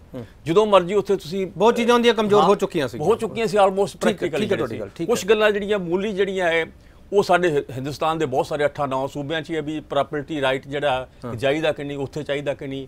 ਕੁਛ ਆ ਔਰਤਾਂ ਦਾ ਸਵਾਲ ਜਿਹੜਾ ਸੀ ਉਹ ਹੋਇਆ ਉਹ ਕੀਤਾ ਜਾ ਸਕਦਾ ਸੀ। ਪਹਿਲਾਂ ਵੀ ਕੀਤਾ ਜਾ ਸਕਦਾ ਸੀਗਾ। ਹੁਣ ਵੀ ਕੀਤਾ ਜਾ ਸਕਦਾ ਸੀ ਪਰ ਸਵਾਲ ਹੈ ਵੀ ਉਹ ਲੋਕ ਜਿਹੜੇ ਖਿੱਤੇ ਦੇ ਲੋਕ ਹੈ ਬੜੀ ਦੇਰ ਕਿਹੜੀਆਂ ਹਿਸਟੋਰੀਕਲ ਹਾਲਤਾਂ ਦੇ ਵਿੱਚ ਇਸ ਕਸ਼ਮੀਰ ਨੂੰ ਹਿੰਦੁਸਤਾਨ ਦਾ ਪਾਰਟ ਬਣਿਆ ਉਹ ਆਪਾਂ ਸਾਰੇ ਜਾਣਦੇ ਹਾਂ ਬੈਕਗ੍ਰਾਉਂਡ ਜਾਣ ਦੀ ਲੋੜ ਨਹੀਂ। ਉਹ ਸੈਂਟੀਮੈਂਟ ਇਮੋਸ਼ਨਸ ਹੈ ਉਹਨਾਂ ਨੂੰ ਧਿਆਨ ਰੱਖਣ ਦੀ ਲੋੜ ਜਿਹੜੀ ਗੱਲ। ਤੁਸੀਂ ਕਹਿ ਰਹੇ ਹੋ ਨਾ ਮਿਸਟਰ ਬਰਾਡ ਜਿਹੜੀ ਗੱਲ ਤੁਸੀਂ ਕਹਿ ਰਹੇ ਹੋ ਕਿ ਸਾਡੇ ਅੰਦਰੂਨੀ ਡਿਫਰੈਂਸਸ ਤਾਂ ਹੈ ਕਿ ਉਹਨਾਂ ਡਿਫਰੈਂਸਸ ਦੀ ਵਜ੍ਹਾ ਕਰਕੇ ਹੀ ਕੌਮਾਂਤਰੀ ਕਲੇਸ਼ ਪੈਂਦਾ। ਇਹ ਇਹ ਵੀ ਇਲਜ਼ਾਮ ਤੁਹਾਡੇ ਤੇ ਲੱਗਦੇ ਆ ਕਿ ਤੁਸੀਂ ਇਹੋ ਜਿਹੀਆਂ ਫੋਰਸਸ ਹੈਗੀਆਂ ਜਿਹੜੀਆਂ ਸਰਕਾਰ ਦੇ ਖਿਲਾਫ ਬੋਲਦੀਆਂ ਤੇ ਉਸ ਤੋਂ ਬਾਅਦ ਕੌਮਾਂਤਰੀ ਰਫੜ ਪੈ ਜਾਂਦਾ? ਨਹੀਂ ਇਹ ਤਾਂ ਇਹ ਤਾਂ ਫालतू ਗੱਲ ਹੈ। ਦੁਨੀਆ 'ਚ ਕਿਹੜੀ ਡੈਮੋਕ੍ਰੇਸੀ ਹੈ ਜਿਹਦੇ 'ਚ ਡਿਫਰੈਂਸ ਨਹੀਂ ਜੀ। ਦੁਨੀਆ 'ਚ ਹੈ ਕੋਈ ਸਵਾਏ ਡਿਕਟੇਟਰਸ਼ਿਪ ਫਾਸ਼ਿਜ਼ਮ ਤੋਂ? ਹਾਂ ਹਿਟਲਰ ਦੇ ਕੋਈ ਨਹੀਂ ਸੀਗਾ। ਹਰ ਦੁਨੀਆ 'ਚ ਹਰ ਡੈਮੋਕ੍ਰੇਸੀ ਡਿਫਰੈਂਸ ਹੋਣਗੇ। ਇੱਥੇ ਵੀ ਹੈ ਪਹਿਲਾਂ ਵੀ ਹੈ। ਹਮੇਸ਼ਾ ਤੁਹਾਡੇ ਤੁਹਾਡੇ ਵਿਰੋਧ ਦੇ ਸੋਰੇ ਐਵੇਂ ਰਹਿਣਗੇ ਨਰਮ ਨਹੀਂ ਪੈਣਗੇ। ਡੈਫੀਨਿਟਲੀ ਠੀਕ ਹੈ। ਮਿਸਟਰ ਕਾਲੋ। ਸਵਾਲ ਇਹ ਹੈਗਾ ਕਿ ਕਸ਼ਮੀਰ ਤੇ ਬਾਹਰਲੇ ਕਿੰਨੇ ਠੰਡੇ ਪਏ ਅਸੀਂ ਸਵਾਲ ਪੁੱਛ ਰਹੇ ਹਾਂ ਪਰ ਸਰਹੱਦਾਂ ਤੇ ਅ, ਤੈਨਾਤੀ ਕਿਹੋ ਜੀ ਹੈਗੀ ਆ ਭਾਰਤ ਵੱਲੋਂ ਤੇ ਕਮਾਂਤਰੀ ਸਰਹੱਦਾਂ ਤੇ ਸਾਡੇ ਗਵਾਂਢੀ ਆ ਜਿਹੜੇ ਉਹਨਾਂ ਵੱਲੋਂ ਤੈਨਾਤੀ ਕਿਹੋ ਜੀ ਹੈਗੀ ਹੈ ਕੀ ਉਹ ਸਭ ਕੁਝ ਠੰਡਾ ਹੋ ਚੁੱਕਿਆ? ਉਹ ਫਿਰ ਉਸ ਵਿੱਚ ਜਦੋਂ ਕਿ ਪਾਕਿਸਤਾਨ ਦੇ ਵਿੱਚ ਜੁਆਇੰਟ ਪਾਰਲੀਮੈਂਟ ਸੈਸ਼ਨ ਹੋਇਆ ਉਹ ਚ ਬਹਿਸ ਵੀ ਹੋਈ। ਸਾਰੇ ਸੀਗੇ ਅਖੀਰ ਤੇ ਉਹਨਾਂ ਨੇ ਰੈਜ਼ੋਲੂਸ਼ਨ ਜੋ ਅਡਾਪਟ ਕੀਤਾ ਉਹਦੇ ਵਿੱਚ ਬੜੇ ਸਪਸ਼ਟ ਤੌਰ ਤੇ ਇਮਰਾਨ ਖਾਨ ਨੇ ਵਾਰਨਿੰਗ ਦਿੱਤੀ ਹੈ ਕਿ ਪੁਲਵਾਮਾ ਜੈਸਾ ਫਿਰ ਕੋਈ ਅਤਵਾਦੀ ਹਮਲਾ ਹੋ ਸਕਦਾ ਹੈ ਔਰ ਨਾਲ ਇਹ ਵੀ ਕਿਹਾ ਕਿ ਜੰਗ ਅਗਰ ਹੁੰਦੀ ਤੇ ਇਸ ਕਿਸਮ ਦੀ ਹੋਗੀ ਕਿ ਉਸ ਤੋਂ ਬਾਅਦ ਬਾਹਰਲੇ ਵੀ ਕਾਲੂ ਸਾਹਿਬ ਜਿਹੜੀ ਇਮਰਾਨ ਖਾਨ ਦੀ ਸਟੇਟਮੈਂਟ ਸੀ ਉਹ ਸਟੇਟਮੈਂਟ ਇਹ ਸੀ ਕਿ ਪੁਲਵਾਮਾ ਵਰਗਾ ਕੋਈ ਹਮਲਾ ਹੋਵੇਗਾ ਤੇ ਫਿਰ ਇਲਜ਼ਾਮ ਪਾਕਿਸਤਾਨ ਤੇ ਆਵੇਗਾ। ਇਹ ਸਟੇਟਮੈਂਟ ਹੈ ਇਮਰਾਨ ਖਾਨ ਦੀ। ਉਹ ਤੇ ਫਿਰ ਨਾਲ ਉਹਨੇ ਇਹ ਵੀ ਕਿਹਾ ਨਾ ਕਿ ਭਈ ਜੰਗ ਵਰਗੀ ਸਥਿਤੀ ਪੈਦਾ ਨਾ ਹੋਏ ਹੋਰ ਜਾ ਰਹੀ ਹੈ। ਹੁਣ ਗੱਲ ਇਹ ਵੇ ਕਿ ਇਹ ਫਾਰਨ ਮਿਨਿਸਟਰ ਦੇ ਜਦੋਂ ਇਹ ਤੇ ਮੁਜ਼ੱਫਰਾਬਾਦ ਗਿਆ ਉੱਥੇ ਤੇ ਗੱਲ ਉਹਨੇ ਹੋਰ ਕੀਤੀ ਹੈ। ਆਵਾਮ ਦੇ ਸਾਹਮਣੇ ਉੱਥੇ ਕਹਿੰਦਾ ਹੈ ਕਿ ਭਈ ਦੇਖੋ ਇਹ ਤੇ ਸਹਿਮਤੀ ਨਾਲ ਸਰਬਸੰਮਤੀ ਨਾਲ ਫੈਸਲਾ ਹੋਇਆ ਹੈ ਰੈਜ਼ੋਲੂਸ਼ਨ ਅਡਾਪਟ ਹੋਇਆ ਤੇ ਅਸੀਂ ਉਹਦੇ ਨਾਲ ਸਹਿਮਤ ਹਾਂ। ਉੱਥੇ ਇਹ ਗੱਲ ਕੀਤੀ ਉਹਨੇ ਕਿ ਜੋ ਤੋ ਇਸ ਵਾਸਤੇ ਇਹ ਜਨਤਾ ਦੇ ਆਵਾਮ ਦੇ ਸਾਹਮਣੇ ਇਹ ਕਸ਼ਮੀਰ ਮੁੱਦੇ ਨੂੰ ਉਭਾਰ ਕੇ ਰੱਖਣਾ ਚਾਹੁੰਦੇ ਨੇ। ਹੁਣ ਰਹੀ ਪਾਕਿਸਤਾਨ ਦੇ ਵੱਲੋਂ ਹਰਕਤ ਜੋ ਹੋਈ ਹੈ ਤੇ ਉਹ ਹਰਕਤ ਹੈ ਕਿ ਮੂਵਮੈਂਟ ਸ਼ੁਰੂ ਹੋ ਗਈ। ਜਿਹੜੇ ਕਿ ਅੱਤਵਾਦੀ ਟ੍ਰੇਨਿੰਗ ਕੈਂਪ ਨੇ ਪੀਓਕੇ ਚ ਉਹ ਨਵੇਂ ਵਿੱਚ ਉੱਭਰ ਕੇ ਜਿਹੜੇ ਮੈਂ ਸਮਝਦਾ ਆਰਜ਼ੀ ਤੌਰ ਤੇ ਨੇੜੇ ਆਉਣੇ ਸ਼ੁਰੂ ਹੋ ਗਏ। ਪਾਕਿਸਤਾਨ ਦੀ ਫੌਜ ਨੇ ਵੀ ਲਾਮਬੰਦੀ ਸ਼ੁਰੂ ਕਰ ਦਿੱਤੀ। ਔਰ ਫਾਰਵਰਡ 에ਅਰ ਬੇਸਿਸ ਤੇ ਵੀ F16 에ਅਰਕ੍ਰਾਫਟ ਜਿਨ੍ਹਾਂ ਨੂੰ ਕਿ 100 ਪਾਕਿਸਤਾਨ ਨੂੰ 125 ਮਿਲੀਅਨ ਡਾਲਰ ਦੀ ਸਹਾਇਤਾ ਡੋਨਾਲਡ ਟਰੰਪ ਨੇ ਤੁਰੰਤ ਦਿੱਤੀ ਜਦੋਂ ਇਮਰਾਨ ਖਾਨ ਵਾਪਸ ਆਇਆ ਕਿ ਜਿਹੜੇ F16 ਨੇ ਉਹਦੀ ਮੇਨਟੇਨੈਂਸ ਵਾਸਤੇ ਉਹ ਤੇ ਫਾਰਵਰਡ ਏਰੀਆ ਤੇ ਅੱਗੇ ਤੁਸੀਂ ਮੰਨਦੇ ਹੋ ਕਿ ਪਾਕਿਸਤਾਨ ਠੰਡਾ ਨਹੀਂ ਪਿਆ ਇਸ ਮਸਲੇ ਦੇ ਨਹੀਂ ਪਾਕਿਸਤਾਨ ਹਾਲੇ ਨਹੀਂ ਠੰਡਾ ਪਿਆ। ਠੀਕ। ਮਗਰ ਉਹ ਮੈਂ- break ਲੈਣਾ, ਮੈਂ break ਤੋਂ ਬਾਅਦ ਅੰਤਰਰਾਸ਼ਟਰੀ ਪੱਧਰ ਤੇ ਠੀਕ ਹੈ। ਅੰਤਰਰਾਸ਼ਟਰੀ ਪੱਧਰ ਤੇ ਜਿਹੜੀਆਂ ਉਹਦੀਆਂ ਉੱਥੇ ਬੜਾ ਬੁਖਾਰ ਚ ਪਤਾ ਨਹੀਂ ਚੱਲਦਾ। ਉਹਨੇ ਬੜੇ ਬੜੇ ਫੈਸਲੇ ਠੀਕ- ਹੈ। ਇੱਕ ਛੋਟਾ ਬ੍ਰੇਕ ਆਣਾ ਬ੍ਰੇਕ ਤੋਂ ਵਾਪਸ ਆਵਾਂਗੇ। ਕਸ਼ਮੀਰ ਤੇ ਬਾਹਰਲੇ ਕਿੰਨੇ ਠੰਡੇ ਪਏ ਇਸ ਸਵਾਲੇ ਪੁੱਛ ਰਹੇ ਆ। ਕਾਲੂ ਸਾਹਿਬ ਕਹਿੰਦੇ ਆ ਕਿ ਪਾਕਿਸਤਾਨ ਅਜੇ ਠੰਡਾ ਨਹੀਂ ਪਿਆ। ਬ੍ਰੇਕ ਤੋਂ ਵਾਪਸ ਆ ਕੇ ਪੁੱਛਾਂਗੇ। ਪਾਕਿਸਤਾਨ ਕਦੋਂ ਠੰਡਾ ਪਵੇਗਾ ਜਾਂ ਠੰਡਾ ਨਹੀਂ ਪਵੇਗਾ? ਵਾਪਸ ਆ ਰਹੇ ਆ। ਸਵਾਲ ਇੱਕੋ ਪੁੱਛ ਰਹੇ ਹਾਂ, ਵੱਡਾ ਸਵਾਲ ਅਸੀਂ ਇਹ ਪੁੱਛ ਰਹੇ ਹਾਂ ਇਸ ਡਿਬੇਟ ਦੇ ਵਿੱਚ ਕਸ਼ਮੀਰ ਨੂੰ ਕਮਾਂਤਰੀ ਮੁੱਦਾ ਬਣਾਉਣ ਦੀਆਂ ਕੋਸ਼ਿਸ਼ਾਂ 'ਚ ਲੱਗਾ ਪਾਕਿਸਤਾਨ ਬੈਕਫੁੱਟ ਤੇ ਕਿਵੇਂ ਹੋਇਆ? ਕਾਲੋ ਸਾਹਿਬ ਤੁਸੀਂ ਆਪਣੀ ਗੱਲ ਪੂਰੀ ਕਰ ਸਕਦੇ ਹੋ। ਉਹ ਕਸ਼ਮੀਰ ਦੇ ਵਿੱਚ ਜੋ ਐਕਟੀਵਿਟੀ ਹੁਣ ਚੱਲ ਰਹੀਆਂ ਨੇ ਸਾਡੇ ਪਾਸੇ ਵੀ ਤੇ ਉਸ ਪਾਸੇ ਵੀ ਅਗਰ ਅੰਤਰਰਾਸ਼ਟਰੀ ਪੱਧਰ ਦੀ ਗੱਲ ਕਰ ਰਹੇ ਸੀਗੇ ਇਹ 'ਚ ਕੋਈ ਸ਼ੱਕ ਨਹੀਂ। ਕਿ ਉਹਨੂੰ ਪ੍ਰਤੱਖ ਰੂਪ ਦੇ ਵਿੱਚ ਕੋਈ ਉਹਨੂੰ ਸਪੋਰਟ ਨਹੀਂ ਮਿਲਣੀ। ਮਗਰ ਜੇ ਤੁਸੀਂ ਕਹਿ ਦਿਓ ਅਮਰੀਕਾ ਅੰਦਰ ਖਾਤੇ ਉਹਦੀ ਮਤ ਨਹੀਂ ਕਰੇਗਾ ਜਾਂ ਚੀਨ ਵੀ ਜਿਸ ਦਾ ਕਿ ਆਪਣਾ ਇੰਟਰਸਟ ਅਮਰੀਕਾ ਤੇ ਚੀਨ ਦੋਨਾਂ ਤੇ ਸ਼ੱਕ ਹੈ ਚੀਨ ਤੇ ਤਾਂ ਹੋਣਾ ਹੀ ਚਾਹੀਦਾ। ਅਮਰੀਕਾ ਤੇ ਵੀ ਸ਼ੱਕ ਹੈ। ਅਮਰੀਕਾ ਅਮਰੀਕਾ ਦੇ ਮੈਨੂੰ ਸ਼ੱਕ ਹੈ। ਉਹਨਾਂ ਨੇ ਨਾ 71 ਚ ਨਾ 65 ਚ ਤੇ ਉਹਨਾਂ ਦੀ ਸਿੱਧੇ ਤੌਰ ਤੇ ਉਹਨਾਂ ਦੀ ਮਦਦ ਕੀਤੀ ਹੈ। ਰਸ਼ੀਆ ਸਾਡੇ ਹੱਕ ਚ। ਰਸ਼ੀਆ ਸਾਡੇ ਹੱਕ ਸਾਡੇ। ਅੱਛਾ ਹੁਣ ਗੱਲ ਤੇ ਤਿਆਰੀ ਦੀ। ਅਸੀਂ ਮੈਂ ਅਮਿਤ ਸ਼ਾਹ ਗ੍ਰਹਿ ਮੰਤਰੀ ਦੇ ਵਿਚਾਰਾਂ ਨਾਲ ਸਹਿਮਤ ਹਾਂ ਜਿਨ੍ਹਾਂ ਨੇ ਕਿ ਬਿਆਨ ਦਿੱਤਾ ਹੈ। ਕਿ ਜੰਗ ਬੇਸ਼- ਜੰਗ ਲੜਨੀ ਬੜਾ ਮੁਸ਼ਕਲ ਹੈ ਉਹਦੇ ਵਾਸਤੇ ਪਾਕਿਸਤਾਨ ਨੂੰ। ਮਗਰ ਉਹਨਾਂ ਨੇ ਕਿਹਾ ਕਿ ਜਿਹੜੀ ਲੁਕਵੀਂ ਜੰਗ ਹੈ ਉਹਨੂੰ ਪਾਕਿਸਤਾਨ ਬੜਾਵਾ ਦਿੱਤਾ ਰਹੇਗਾ ਠੀਕ ਠੀਕ। ਮੈਂ ਵਾਪਸ ਆਉਂਗਾ ਗਰੇਵਾਲ ਸਾਹਿਬ ਤੁਹਾਨੂੰ ਖੁਸ਼ ਨਹੀਂ ਹੋਣਾ ਚਾਹੀਦਾਗਾ ਅਮਰੀਕਾ ਤੇ ਚੀਨ ਦੇ ਸਟੈਂਡ ਤੋਂ। ਕਾਲੂ ਸਾਹਿਬ ਵੀ ਅਲਟੀਮੇਟਮ ਦੇ ਰਿਹਾ ਕਿ ਪਿੱਛੋਂ ਕੁਝ ਵੀ ਕਰ ਰਹੇ ਹੈ। ਨਹੀਂ ਉਹ ਕਾਲੋ ਸਾਹਿਬ ਦੀ ਸੋਚ ਬਿਲਕੁਲ ਠੀਕ ਹੈ। ਹਾਂ। ਮੈਂ ਉਸ ਨੂੰ ਕੰਟਰਡਿਕਟ ਨਹੀਂ ਕਰਦਾ ਪਰ ਇੰਨਾ ਵੀ ਆਸਾਨ ਨਹੀਂ ਹੈ ਕਿ ਇਸ ਵੇਲੇ ਸਾਡੇ ਨਾਲ ਉਹ ਆਪਣੇ ਸੰਬੰਧ ਖਰਾਬ ਕਰਨ ਔਰ ਸਾਡੇ ਅੰਦਰੂਨੀ ਮਾਮਲਿਆਂ 'ਚ ਦਖਲ ਦੇ ਸਕਣ ਕਿਉਂਕਿ ਅੰਤਰਰਾਸ਼ਟਰੀ ਜਗਤ ਜਿਹੜਾ ਉਹਨਾਂ ਤੋਂ ਬਿਨਾਂ ਵੀ ਹੈਗਾ ਉਹ ਉਹ ਵੀ ਇੱਕ ਫੋਰਸ ਅਮਰੀਕਾ ਤੇ ਚੀਨ ਤੋਂ ਬਿਨਾਂ ਵੀ ਹੈਗਾ? ਬਿਲਕੁਲ ਹੈਗਾ। ਚਲੋ ਠੀਕ ਹੈ ਰਸ਼ੀਆ ਵੀ ਹੈ ਔਰ ਅਰਬ ਕੰਟਰੀਜ਼ ਵੀ ਹੈ। ਬਾਕੀ ਦੇਸ਼ ਵੀ ਹੈਗੇ। ਵਿਕਰਮਜੀਤ ਗਰੇਵਾਲ ਸਾਹਿਬ ਹੋਰਾਂ ਨੇ ਬੜੀ ਵੱਡੀ ਗੱਲ ਕਹਿਤੀ ਹੈ ਇਸ ਬਿਆਨ ਨੂੰ ਤੁਸੀਂ ਜਿੰਨਾ ਕੋਟ ਕਰਨਾ ਹੈ ਜਾਂ ਇਸ ਨੂੰ ਇਸ ਤੇ ਵਿਚਾਰ ਦੇਣਾ ਹੋਇਆ ਦੇ ਦਿਓ। ਮੇਰਾ ਸਵਾਲ ਇਹ ਹੈਗਾ ਕਿ ਪਾਕਿਸਤਾਨ ਹੁਣ ਬੈਕਫੁੱਟ ਤੇ ਨਜ਼ਰ ਆ ਰਿਹਾ ਜਾਂ ਵਾਕਈ ਹੈ? ਨਹੀਂ I think in the short to medium term assessment ਜਿਹੜੀ ਆ ਰਹੀ ਹੈ, ਉਹ Pakistan is on the back at the geopolitical global level ਤੁਸੀਂ ਪਾਕਿਸਤਾਨ ਫੋਰਨ ਮਿਨਿਸਟਰ ਦੀ ਸਟੇਟਮੈਂਟ ਆਪਣੇ ਅੱਖਾਂ ਨਾਲ, ਆਪਣੇ ਕੰਨਾਂ ਨਾਲ ਸੁਣੀ ਹੈ। ਉਹਨਾਂ ਨੇ ਬੜੇ ਕੈਟੇਗੋਰਿਕਲੀ ਕਿਹਾ ਕਿ ਉਹਨਾਂ ਨੂੰ ਰਿਸਪੌਂਸ ਨਹੀਂ ਮਿਲ ਰਿਹਾ ਟੂ ਇੰਟਰਨੈਸ਼ਨਲਾਈਜ਼ ਕਸ਼ਮੀਰ ਇਸ਼ੂ ਜਿਸ ਤਰ੍ਹਾਂ ਉਹ, ਉਹਨਾਂ ਦੀ ਆਵਾਮ ਚਾਹੁੰਦੀ ਹੈਗੀ ਹੈ। ਔਰ ਉਹਨਾਂ ਨੇ ਇੱਕ ਹੋਰ ਇੱਕ ਬਿਆਨ ਇਸੀ ਬਿਆਨ ਦੇ ਦੌਰਾਨ ਇੱਕ ਹੋਰ ਗੱਲ ਕਹੀ ਕਿ ਇਹ ਜਿਹੜੀ ਅਰਬ ਕੰਟਰੀਜ਼ ਨੇ ਜਿਹੜੀ ਮੁਸਲਿਮ ਉਮਾ ਦੀ ਗੱਲ ਕਰ ਚੱਲਦੇ ਨੇ ਉਹਨਾਂ ਨੇ ਇੱਕ ਬੜਾ ਸਰਕਾਸਟਿਕ ਔਰ ਬੜਾ ਤਿੱਖਾ ਜਿਹਾ ਕਮੈਂਟ किया कि बात ये करते हैं मुस्लिम उम्मा की लेकिन जब सपोर्ट की बात आती तो ये सपोर्ट नहीं दे रहे क्योंकि इनकी इन्वेस्टमेंट है इंडिया में क्योंकि इंडिया एक अरब अरब मिलियन डॉलर ਜਾਂ ਇਕਨੋਮੀ ਹੈ ਸੋ ਉਹਨਾਂ ਨੇ ਇਹ ਅ, ਕੁਰੈਸ਼ੀ ਦੀ ਆਪਣੀ ਜਿਹੜੀ ਸਟੇਟਮੈਂਟ ਹੈ ਉਹ ਇਹ ਪੁਆਇੰਟ ਕਰ ਰਹੀ ਹੈ ਕਿ ਪਾਕਿਸਤਾਨ ਨੂੰ ਕੀ ਇੰਟਰਨੈਸ਼ਨਲ ਸਪੋਰਟ ਮਿਲਿਆ। ਦੇਖੋ ਯੂਐਨ ਨੇ ਸੈਕਟਰੀ ਜਨਰਲ ਦੀ ਜਿਹੜੀ ਸਟੇਟਮੈਂਟ ਉਹ ਕਹਿ ਰਿਹਾ ਕਿ ਤੁਸੀਂ ਇਹਨੂੰ ਬਾਇਲੈਟਰਲੀ ਹੈਂਡਲ ਕਰੋ। ਰਸ਼ੀਆ ਦੀ ਕੈਟੇਗੋਰੀਕਲ ਸਟੇਟਮੈਂਟ ਹੈ ਕਿ ਇੰਟਰਨਲ ਮੈਟਰ ਹੈ। ਯੂਏਈ ਜਿਹੜੀ ਇੱਕ ਬੜੀ ਵੱਡੀ ਅਰਬ ਕੰਟਰੀ ਹੈ ਪਾਕਿਸਤਾਨ ਦੇ ਬੜੀ ক্লোਜ਼ ਰਹੀ ਹੈ ਉਹਨਾਂ ਨੇ ਸ਼ੁਰੂ ਵਿੱਚ ਹੀ ਕਹਿਤਾ ਕਿ it is an internal matter of India constitution ਦੇ ਅੰਡਰ ਉਹਨਾਂ ਨੇ ਕੀਤਾ ਹੈਗਾ। ਠੀਕ ਹੈ? ਤੇ ਇਹ ਜਿਹੜੇ ਯੂਕੇ ਹੈ ਉਹ ਵੀ ਚੁੱਪ ਹੈਗਾ। ਅੱਛਾ ਤੁਸੀਂ ਦੇਖੋ ਯੂਐਸ ਨੇ ਵੀ ਕਿਹਾ ਕਿ ਵੀ ਨੋਟ ਕਿ India it is an internal matter of India as explained by India so ਇਹ ਜਿਹੜੀ ਇਹਨਾਂ ਨੂੰ ਕੋਈ ਓਪਨ ਸਪੋਰਟ ਪਾਕਿਸਤਾਨ ਨੂੰ ਨਹੀਂ ਮਿਲ ਰਹੀ ਬਿਕੋਜ਼ ਪਾਕਿਸਤਾਨ ਦੇ ਕੋਲ ਆਪਸ਼ਨ ਘੱਟ ਤੋਂ ਘੱਟ ਹੋ ਰਹੇ ਨੇ। ਕਿਉਂ? Now we have to understand Pakistan the options ਘੱਟ ਕਿਉਂ ਨੇ? Firstly they are under heavy pressure from financial action task force FTA FATF FATF ਜਿਹਦੀ ਮੀਟਿੰਗ ਅਕਤੂਬਰ ਵਿੱਚ ਹੋਣੀ ਹੈ ਟੂ ਡਿਸਾਈਡ ਕਿ ਪਾਕਿਸਤਾਨ ਗ੍ਰੇ ਲਿਸਟ ਤੇ ਰਹੇਗਾ ਜਾਂ ਬਲੈਕ ਲਿਸਟ ਤੇ ਅਪਗ੍ਰੇਡ ਹੋਏਗਾ। ਔਰ ਇੱਕ ਵਾਰੀ ਬਲੈਕ ਲਿਸਟ ਤੇ ਹੋ ਗਿਆ ਤੇ ਪਾਕਿਸਤਾਨੀ ਆਰਮੀ ਇਕਨੋਮੀ ਨੂੰ ਇਹਦਾ ਬਹੁਤ ਨੁਕਸਾਨ ਹੈ। Secondly Pakistani economy is bleeding ਜਿਹਨੂੰ ਕਹਿੰਦਾ ਲਹੂ ਛੱਡ ਰਹੀ ਹੈ। ਉਹਨਾਂ ਦੀ ਸ਼ਮਤਾ ਨਹੀਂ ਕਿ ਉਹ ਇੰਡੀਆ ਨਾਲ ਇਹ ਕਸ਼ਮੀਰ ਦੇ ਮੁੱਦੇ ਉੱਪਰ ਇੱਕ ਜੰਗ ਲੜ ਜਾਣ। ਇਹ ਜਿਹੜੀ ਗੱਲ ਕਰਦੇ ਨੇ ਕਿ ਪਾਕਿਸਤਾਨ ਆਰਮੀ ਬੜੀ ਐਕਟਿਵ ਹੈ, ਬੜੀ ਪੋਸਚਰਿੰਗ ਕਰ ਰਹੀ ਹੈ ਇਹ ਸਿਰਫ ਇੱਕ ਪੋਸਚਰ ਹੈ। ਫਾਈਟਰ 에ਅਰਕ੍ਰਾਫਟ ਸਕਾਰਡੂ ਮੂਵ ਕੀਤੇ ਇਹਨਾਂ ਨੇ ਵਿਚ ਇਜ਼ ਇਨ ਗਿਲਗਿਟ ਬਾਲਟਿਸਤਾਨ ਕਿਉਂ ਮੂਵ ਕਰਤੇ ਨੇ? ਉਹ ਇਹ ਸ਼ੋਅ ਕਰ ਰਹੇ ਨੇ ਦੁਨੀਆ ਨੂੰ ਕਿ ਅਸੀਂ ਜੀ ਬੜੀ ਟੈਨਸ਼ਨ ਐਲਓਸੀ ਤੇ ਐਸਕੇਲੇਟ ਹੋ ਰਹੀ ਹੈ। ਇਹਦੇ ਨਾਲ ਜੰਗ ਹੋ ਸਕਦਾ ਜੀ। ਇਹਦੇ ਨਾਲ ਟੈਨਸ਼ਨਸ ਵੱਧ ਸਕਦੀਆਂ। ਬਟ ਇਹ ਪੋਸਚਰਿੰਗ ਹੈ। ਉਹਨਾਂ ਵਿੱਚ ਅਸਲੀ ਦਮ ਨਹੀਂ ਹੈ ਜੰਗ ਲੜਨ ਨੂੰ। ਅਗਰ ਅਸਲੀ ਦਮ ਹੁੰਦਾ ਜੰਗ ਲੜਨ ਨੂੰ ਤੇ ਅੱਜ ਤੱਕ ਉਹਨਾਂ ਨੇ ਕੁਝ ਕਰ ਲੈਣਾ ਸੀ। It would have been LOC would have been up in flames ਇੰਨੀ ਅੱਗ ਲੱਗ ਜਾਣੀ ਸੀ। ਨਹੀਂ ਕਰ ਪਾ ਰਹੇ ਕਿਉਂਕਿ ਉਹਨਾਂ ਸ਼ਮਤਾ ਹੀ ਨਹੀਂ ਹੈਗੀ ਉਹ ਤੁਸੀਂ ਬਾਰ-ਬਾਰ ਦੇਖ ਰਹੇ ਹੋ। ਦੇਖੋ ਪਾਕਿਸਤਾਨ ਦੇ ਪ੍ਰਾਈਮ ਮਿਨਿਸਟਰ ਇਮਰਾਨ ਖਾਨ ਨੇ ਪਾਕਿਸਤਾਨ ਦੇ ਪਾਰਲੀਮੈਂਟ ਵਿੱਚ ਕੀ ਸਟੇਟਮੈਂਟ ਕੀਤੀ ਹੈ? ਕੁਝ ਹੀ ਦਿਨ ਪਹਿਲਾਂ 6 ਅਗਸਤ ਨੂੰ। ਉਹਨਾਂ ਨੇ ਕਿਹਾ ਹੈ ਕਿ ਅਸੀਂ ਇੰਡੀਆ ਨਾਲ ਕਨਵੈਨਸ਼ਨਲ ਵਾਰ ਅਗਰ ਲੜਾਂਗੇ ਤੇ ਅਸੀਂ ਹਾਰਾਂਗੇ। ਤੁਸੀਂ ਉਹਨਾਂ ਦੀ ਸਪੀਚ ਦੇਖ ਲਓ। ਉਹ ਦੁਬਾਰਾ ਆਪ ਕਹਿ ਰਹੇ ਨੇ। ਉਹਨਾਂ ਨਿਊਕਲੀਅਰ ਵਾਰ ਦਾ ਵੀ ਜ਼ਿਕਰ ਕੀਤਾ। ਹਾਂ then you go to nuclear war ਹਾਂ। ਬਟ ਪੁਆਇੰਟ ਇਸ ਕਿ ਪਹਿਲੇ ਕਨਵੈਨਸ਼ਨਲ ਵਾਰ ਤਾਂ ਲੜੋ ਤੁਸੀਂ। ਫੇਰ ਹੀ ਨਿਊਕਲੀਅਰ ਵਾਰ ਤੇ ਆਓਗੇ। ਪਾਕਿਸਤਾਨ ਦੇ ਪ੍ਰਾਈਮ ਮਿਨਿਸਟਰ ਨੇ ਪਿਛਲੇ 8 ਤਰੀਕ ਨੂੰ ਇੱਕ ਹੋਰ ਸਟੇਟਮੈਂਟ ਦਿੱਤੀ ਹੈ ਟੂ ਜਰਨਲਿਸਟ ਇਨ ਪਾਕਿਸਤਾਨ। ਉਹਨਾਂ ਨੇ ਕਿਹਾ ਹੈ ਕਿ ਯੂਜ਼ ਆਫ ਜਿਹਾਦੀਜ਼ ਦੇ ਐਡਵਾਂਟੇजेस ਵੀ ਨੇ ਡਿਸਐਡਵਾਂਟੇजेस ਵੀ ਨੇ ਔਰ ਉਹਦੇ ਡਿਸਐਡਵਾਂਟੇजेस ਐਟ ਦਾ ਮੋਮੈਂਟ ਜ਼ਿਆਦਾ ਨੇ। ਠੀਕ ਹੈ? ਦੂਜਾ ਉਹਨੇ ਕਿਹਾ ਹੈ ਕਿ we are under lot of pressure on from FATF ਜਿਹੜੀ ਬਲੈਕ ਲਿਸਟਿੰਗ ਦਾ ਮਾਮਲਾ ਹੈਗਾ। ਸੋ ਪਾਕਿਸਤਾਨ ਬਹੁਤ ਤਰੀਕ ਸਾਈਡਸ ਤੋਂ ਘੇਰਾ ਪਿਆ ਹੋਇਆ। ਮੈਨੂੰ ਇੱਕ ਸਵਾਲ ਦਾ ਜਵਾਬ ਦਿਓ ਵਿਕਰਮਜੀਤ। ਪਾਕਿਸਤਾਨ ਦੇ ਮੰਤਰੀ ਵੀ ਉੱਥੇ ਚਾਈਨਾ ਜਾ ਕੇ ਆਉਂਦੇ ਆ ਤੇ ਉਸ ਤੋਂ ਬਾਅਦ ਭਾਰਤ ਦੇ ਵਿਦੇਸ਼ ਮੰਤਰੀ ਚਾਈਨਾ ਜਾ ਕੇ ਆਉਂਦੇ ਆ। ਦੋਨਾਂ ਮੁਲਾਕਾਤਾਂ ਦੇ ਵਿੱਚ ਕੀ ਫ਼ਰਕ ਹੈ? ਦੇਖੋ ਜਿਹੜੇ ਇੰਡੀਅਨ ਫੋਰਨ ਮਿਨਿਸਟਰ ਦੀ ਵਿਜ਼ਿਟ ਸੀਗੀ ਉਹ 11 ਤੋਂ 13 ਅਗਸਤ ਲਈ ਸ਼ੈਡਿਊਲਡ ਸੀਗੀ। ਪਹਿਲਾਂ ਹੀ ਤੈਅ ਸੀ। ਪਾਕਿਸਤਾਨ ਦੇ foreign minister Qureshi the visit unscheduled and at the last minute arrange ਹੋਈ ਹੈ। ਇਨ ਰਿਐਕਸ਼ਨ ਟੂ ਜਿਹੜਾ ਇੰਡੀਆ ਨੇ ਐਕਸ਼ਨ ਲਿੱਤਾ ਔਨ 370 ਐਂਡ 35 ਏ ਔਰ ਬਾਈਫਰਕੇਸ਼ਨ ਦਾ ਠੀਕ ਹੈ?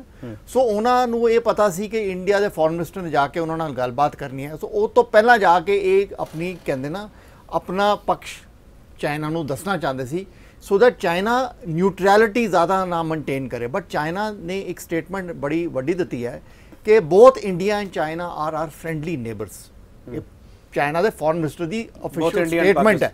ਠੀਕ ਹੈ। ਉਨਕੇ ਬਹੁਤ ਆ। ਤੁਸੀਂ ਇੱਕ ਹੋਰ ਗੱਲ ਦੇਖੋ ਕਿ ਆਫਟਰ ਡੋਨਲਡ ਟਰੰਪ ਔਰ ਇਮਰਾਨ ਦੀ ਮੀਟਿੰਗ ਦੇ ਬਾਅਦ ਇਮਰਾਨ ਬਹੁਤ ਉੱਪਰ ਇਹਦਾ ਇਹਨਾਂ ਦਾ ਚੜਿਆ ਮੋਰਲ। ਇਹਨਾਂ ਨੇ ਟੈਰਰਿਜ਼ਮ ਵੀ ਸ਼ੁਰੂ ਕਰਤੀ ਬੈਕ ਸਟ੍ਰਾਈਕਸ ਹੋ ਗਈਆਂ ਬਾਰਡਰ ਤੇ। ਲੇਕਿਨ ਜਦ ਇੰਡੀਆ ਨੇ 370 ਕੀਤਾ ਉਹਦੇ ਬਾਅਦ ਇਹਨਾਂ ਨੂੰ ਇੱਕਦਮ ਇੱਕ ਤੱਕਾ ਪਿਆ। ਠੀਕ ਹੈ। ਔਰ ਇਹ ਵੀ ਗੱਲ ਤੁਸੀਂ ਨੋਟ ਕਰੋ ਕਿ ਅਫਗਾਨਿਸਤਾਨ ਤਾਲਿਬਾਨ ਨੇ ਇੱਕ ਸਟੇਟਮੈਂਟ ਦਿੱਤੀ ਹੈ ਬਹੁਤ ਵੱਡੀ।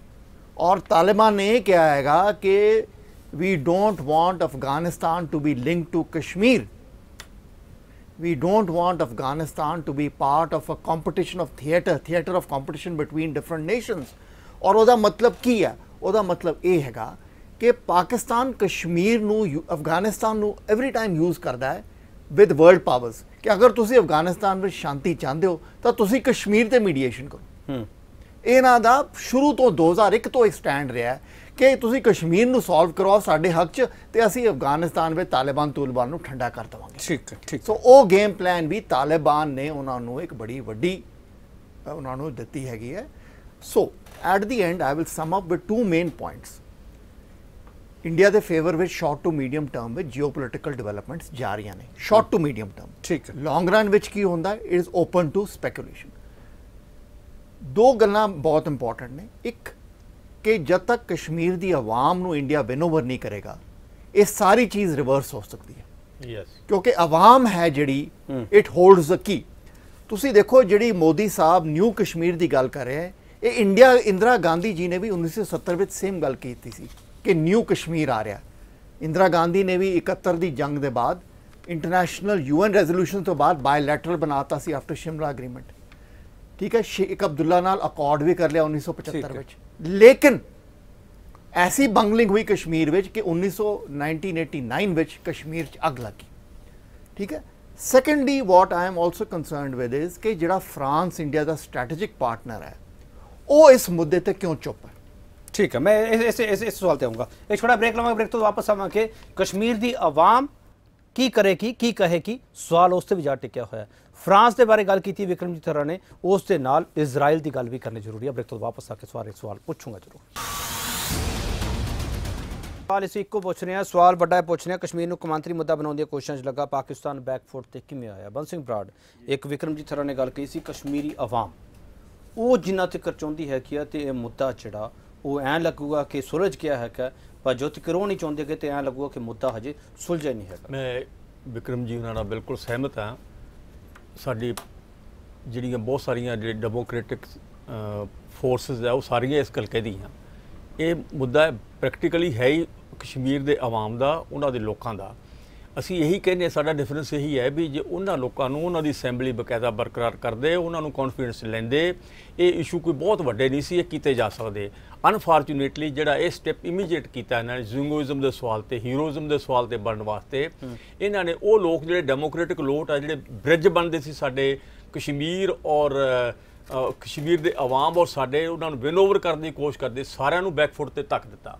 ਸਾਰੇ ਟੋਟਲੀ ਔਰ ਉਸ ਦੇ ਨਾਲ ਐਕਸਟ੍ਰੀਮਿਸਟ ਐਲੀਮੈਂਟ ਜਿਹੜੇ ਉਹਨਾਂ ਨੂੰ ਬੜਾਵਾ ਮਿਲੂਗਾ ਜੋ ਸਾਡੀ ਅੰਡਰਸਟੈਂਡਿੰਗ ਹੈ ਇਮੀਡੀਏਟ ਕਸ਼ਮੀਰੀ ਲੋਕ ਜਿਹੜੇ ਆ ਉਹ ਬਕਾਵੇ ਵਿੱਚ ਵੀ ਆ ਸਕਦੇ ਆ this is what our apprehensions ਇਸ ਕਦਮ ਦੇ ਨਾਲ। ਨਹੀਂ ਕਸ਼ਮੀਰ ਦੇ ਜਿਹੜੇ ਲੋਕ ਹੈ ਉੱਥੇ ਵਾਸਤੇ ਹੈ ਉਹ ਆਪਦੇ ਆਪੇ ਸਾਰਾ ਫੈਸਲਾ ਕਰਨਗੇ ਜਾਂ ਕੋਈ ਬਾਹਰਲੀਆਂ ਫੋਰਸਸ ਉਹਨਾਂ ਨੂੰ ਇਹ ਇਸ ਕੰਮ ਲਈ ਮਦਦ ਕਰਨਗੇ? ਦੇਖੋ ਜੀ ਇਹ ਇਹ ਸਵਾਲ ਹੈ ਬਾਹਰਲੀਆਂ ਅਸੀਂ ਐਨਮੀ ਫੋਰਸਸ ਨੂੰ ਕਿਉਂ ਐਕਸਪੈਕਟ ਕਰੀਏ ਵੀ ਉਹ ਸਾਡੇ ਭਲੇ ਵਾਸਤੇ ਕਰਨਗੀਆਂ ਪ੍ਰੈਕਟੀਕਲੀ ਸਾਨੂੰ ਸੋਚਣਾ ਪਊਗਾ ਸਾਡੇ ਆਪਣੇ ਆਵਾਮ ਨੂੰ ਸਾਡਾ ਆਵਾਮ ਆ ਉਹ ਸਾਡਾ ਦੇਸ਼ ਹੈ ਸਾਡੇ ਲੋਕ ਹੈ ਉਹਨਾਂ ਨੂੰ ਅਸੀਂ ਉਹ ਫੀਲਿੰਗ ਕਿਉਂ ਜਾਣ ਦਈਏ ਅਸੀਂ? ਉਹਨਾਂ ਨੂੰ ਕਿਉਂ ਬੇਸ ਬਣ ਦਈਏ ਉਹਨਾਂ ਨੂੰ?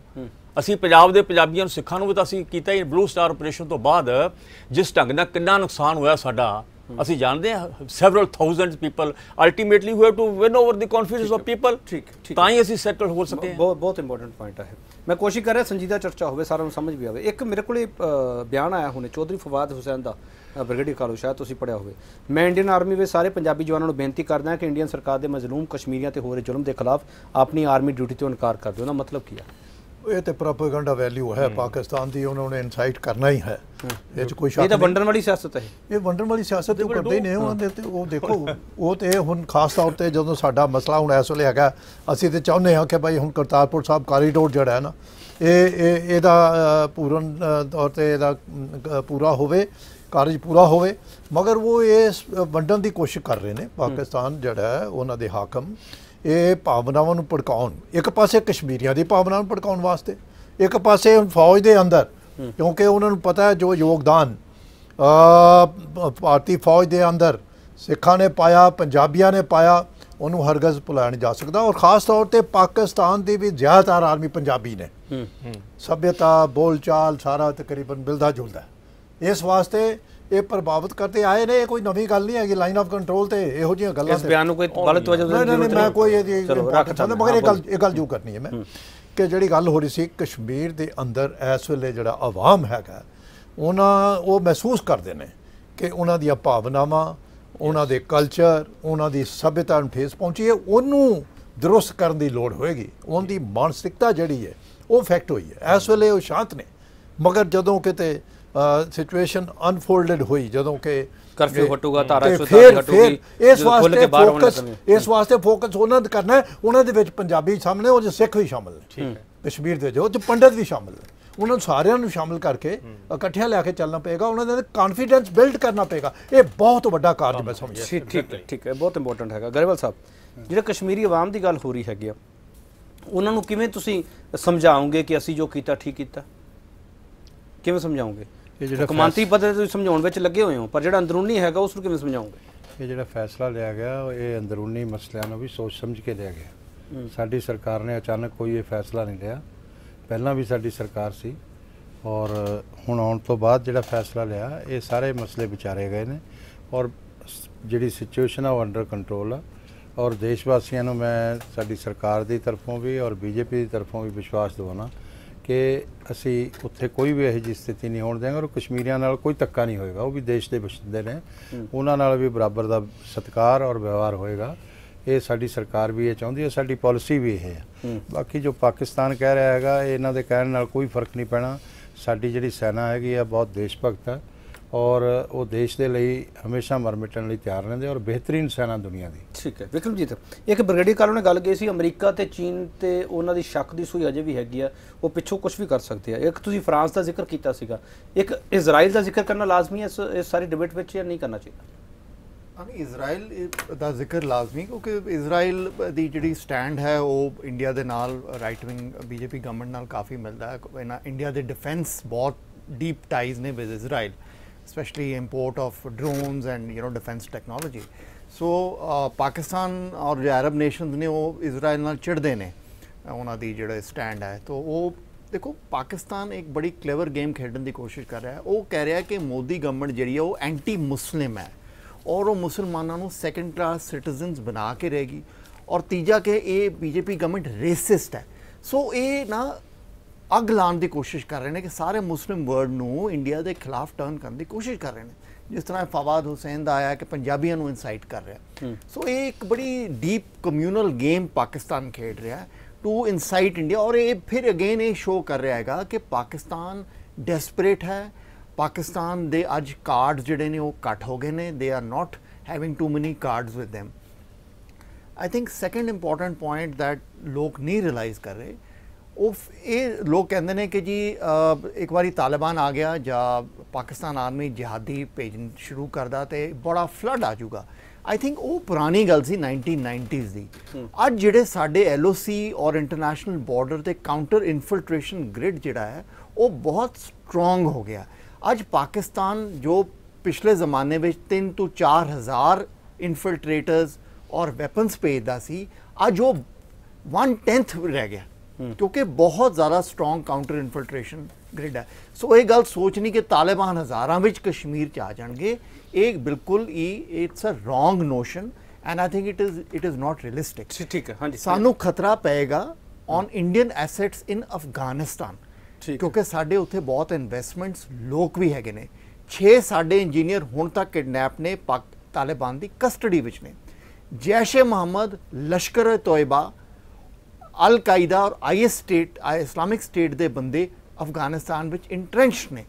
They can attack Indian assets in Afghanistan. ਠੀਕ ਠੀਕ ਹਾਂਜੀ ਕਾਲੋ ਸਾਹਿਬ ਕੀ ਕਹਿਣਾ ਚਾਹ ਰਹੇ ਤੁਸੀਂ? ਉਹ ਜੋ ਕਸ਼ਮੀਰ ਦੇ ਅੰਦਰ ਪਹਿਲੋਂ ਹੀ ਪਿਛਲੇ 6 ਦਹਾਕਿਆਂ ਤੋਂ ਜਿਹੜੇ ਕਿ ਠਿਕਾਣੇ ਬਣਾ ਰੱਖੇ ਨੇ ਅੱਤਵਾਦੀਆਂ ਨੇ ਉੱਥੇ ਸਟੋਰ ਕੀਤਾ ਹੈ ਵਿਸਫੋਟਕ ਸਮਗਰੀ ਹੈ ਹਥਿਆਰ ਹੈ ਸਭ ਕੁਝ ਹੈ। ਇਸ ਤੋਂ ਇਲਾਵਾ ਪੁਲਵਾਮਾ ਵਾਲਾ ਤੇ ਸਿੱਧ ਕਰਦਾ ਹੈ ਕਿ ਜਿਹੜੇ ਅਫਗਾਨਿਸਤਾਨ ਤੋਂ ਟ੍ਰੇਨਡ ਉਹ ਇੱਕ ਮੈਂ ਸਮਝਦਾ ਹਾਂ ਕਿ ਜਿਹੜਾ ਕਿ ਸਾਨੂੰ ਇਹ ਸਿੱਖਿਆ ਪ੍ਰਾਪਤ ਕਰਨ ਬੜਾ ਸਮਾਂ ਲੱਗਦਾ ਕਿ ਇੱਕ ਬੰਬ ਨੂੰ ਜੋੜਨਾ, ਉਹਨੂੰ ਅਸੈਂਬਲ ਕਰਨਾ, ਉਹਦਾ ਇਗਨਾਈਟ ਕਰਨਾ, ਤੇ ਉਹ ਇੰਨਾ ਚਿਰ ਤੋਂ ਆ ਕੇ ਪਹਿਲੋਂ ਬੈਠਾ ਹੈ, ਬੈਠੇ ਨੇ। ਜੇ ਹੁਣ ਕਹਿ ਦਿਓ ਕਿ ਨਹੀਂ ਹੈਗੇ ਇੱਥੇ ਐਲੀਮੈਂਟ ਉਹਨਾਂ ਨੂੰ ਕੰਟਰੋਲ ਕਰਨਾ। ਪਰ ਦੂਜੀ ਗੱਲ ਇਹ ਵੀ, ਜਿਹੜੇ sleeping cell all over the country 'ਚ ਐਸਟੈਬਲਿਸ਼ ਪਹਿਲੂ ਨੇ, ਉਹਨਾਂ ਨੂੰ ਇਗਨਾਈਟ ਕੀਤਾ ਜਾ ਰਿਹਾ। ਇਹ ਗੱਲ ਕਿ ਵੀ ਜੇ, ਗੱਲ ਇਹ ਜਿਹੜੀ ਹੈ ਕਿ ਰਵਾਇਤੀ ਜੰਗ ਤੇ ਲੜਨੀ ਉਹਨਾਂ ਵਾਸਤੇ ਬਹੁਤ ਮੁਸ਼ਕਲ ਹੈ। ਉਹ ਇਸ ਵੇਲੇ ਸਥਿਤੀ 'ਚ ਨਹੀਂ ਹੈਗੇ। ਤੇ ਮੈਨੂੰ ਲੱਗਦਾ ਜੰਗ ਦੀ ਗੱਲ ਤਾਂ ਦੋਨਾਂ ਮੁਲਕਾਂ ਨੂੰ ਨਹੀਂ ਕਰਨੀ ਚਾਹੀਦੀ ਨਹੀਂ ਦੋਵਾਂ ਮੁਲਕਾਂ ਉਹਦਾ ਦੋਨਾਂ ਕੋਈ ਮੁਲਕਾਂ ਸ਼ੱਕ ਨੂੰ ਨਹੀਂ ਨਹੀਂ। ਕਰਨੀ ਚਾਹੀਦੀ ਉਹ ਜੰਗ ਜੰਗ ਦੀ ਤੇ ਨਾ ਕੋਈ ਪਰ ਉਹ ਆਪਣੀ ਇਹ ਇਹ ਜਿਹੜੀ ਗੱਲ ਹੈ ਕਿ ਉਹ ਲੁਕ ਚੁੱਪ ਕੇ ਲੁਕਵੀਂ ਜੰਗ ਜਾਰੀ ਰੱਖਣਗੇ ਔਰ ਆ ਜਿਹੜੇ ਸਲੀਪਿੰਗ ਸੈੱਲ ਨੇ ਇਹ ਇਹ ਜਿਹੜੀ ਗੱਲ ਹੈ ਨਾ ਇੱਥੋਂ ਤੱਕ ਸੀਮਿਤ ਨਹੀਂ ਰਹੇਗੀ ਜੰਮੂ ਕਸ਼ਮੀਰ ਤੱਕ। ਇਹ ਕਈ ਠਿਕਾਣੇ ਭਾਵੇਂ ਚੰਡੀਗੜ੍ਹ ਹੋਵੇ ਜਾਂ ਬੈਂਗਲੌਰ ਹੋਵੇ ਜਾਂ ਕਿਤੇ ਹੋਰ ਹੋਵੇ ਉਹ ਸਲੀਪਿੰਗ ਸੈੱਲ ਵੀ ਐਕਟੀਵੇਟ ਕਰਨ ਚ ਨੇ। ਇਸੇ ਕਰਕੇ ਤੇ ਵਾਰਨਿੰਗ ਮਿਲਦੀਆਂ ਨੇ। ਇਸੇ ਕਰਕੇ ਤੇ ਕਦੀ ਇੱਥੇ ਖੁਲਾਸਾ ਹੋ ਜਾਂਦਾ ਹੈ, ਕਦੀ ਇੱਥੇ ਕੋਈ ਗੱਲਬਾਤ ਹੁੰਦੀ ਹੈ।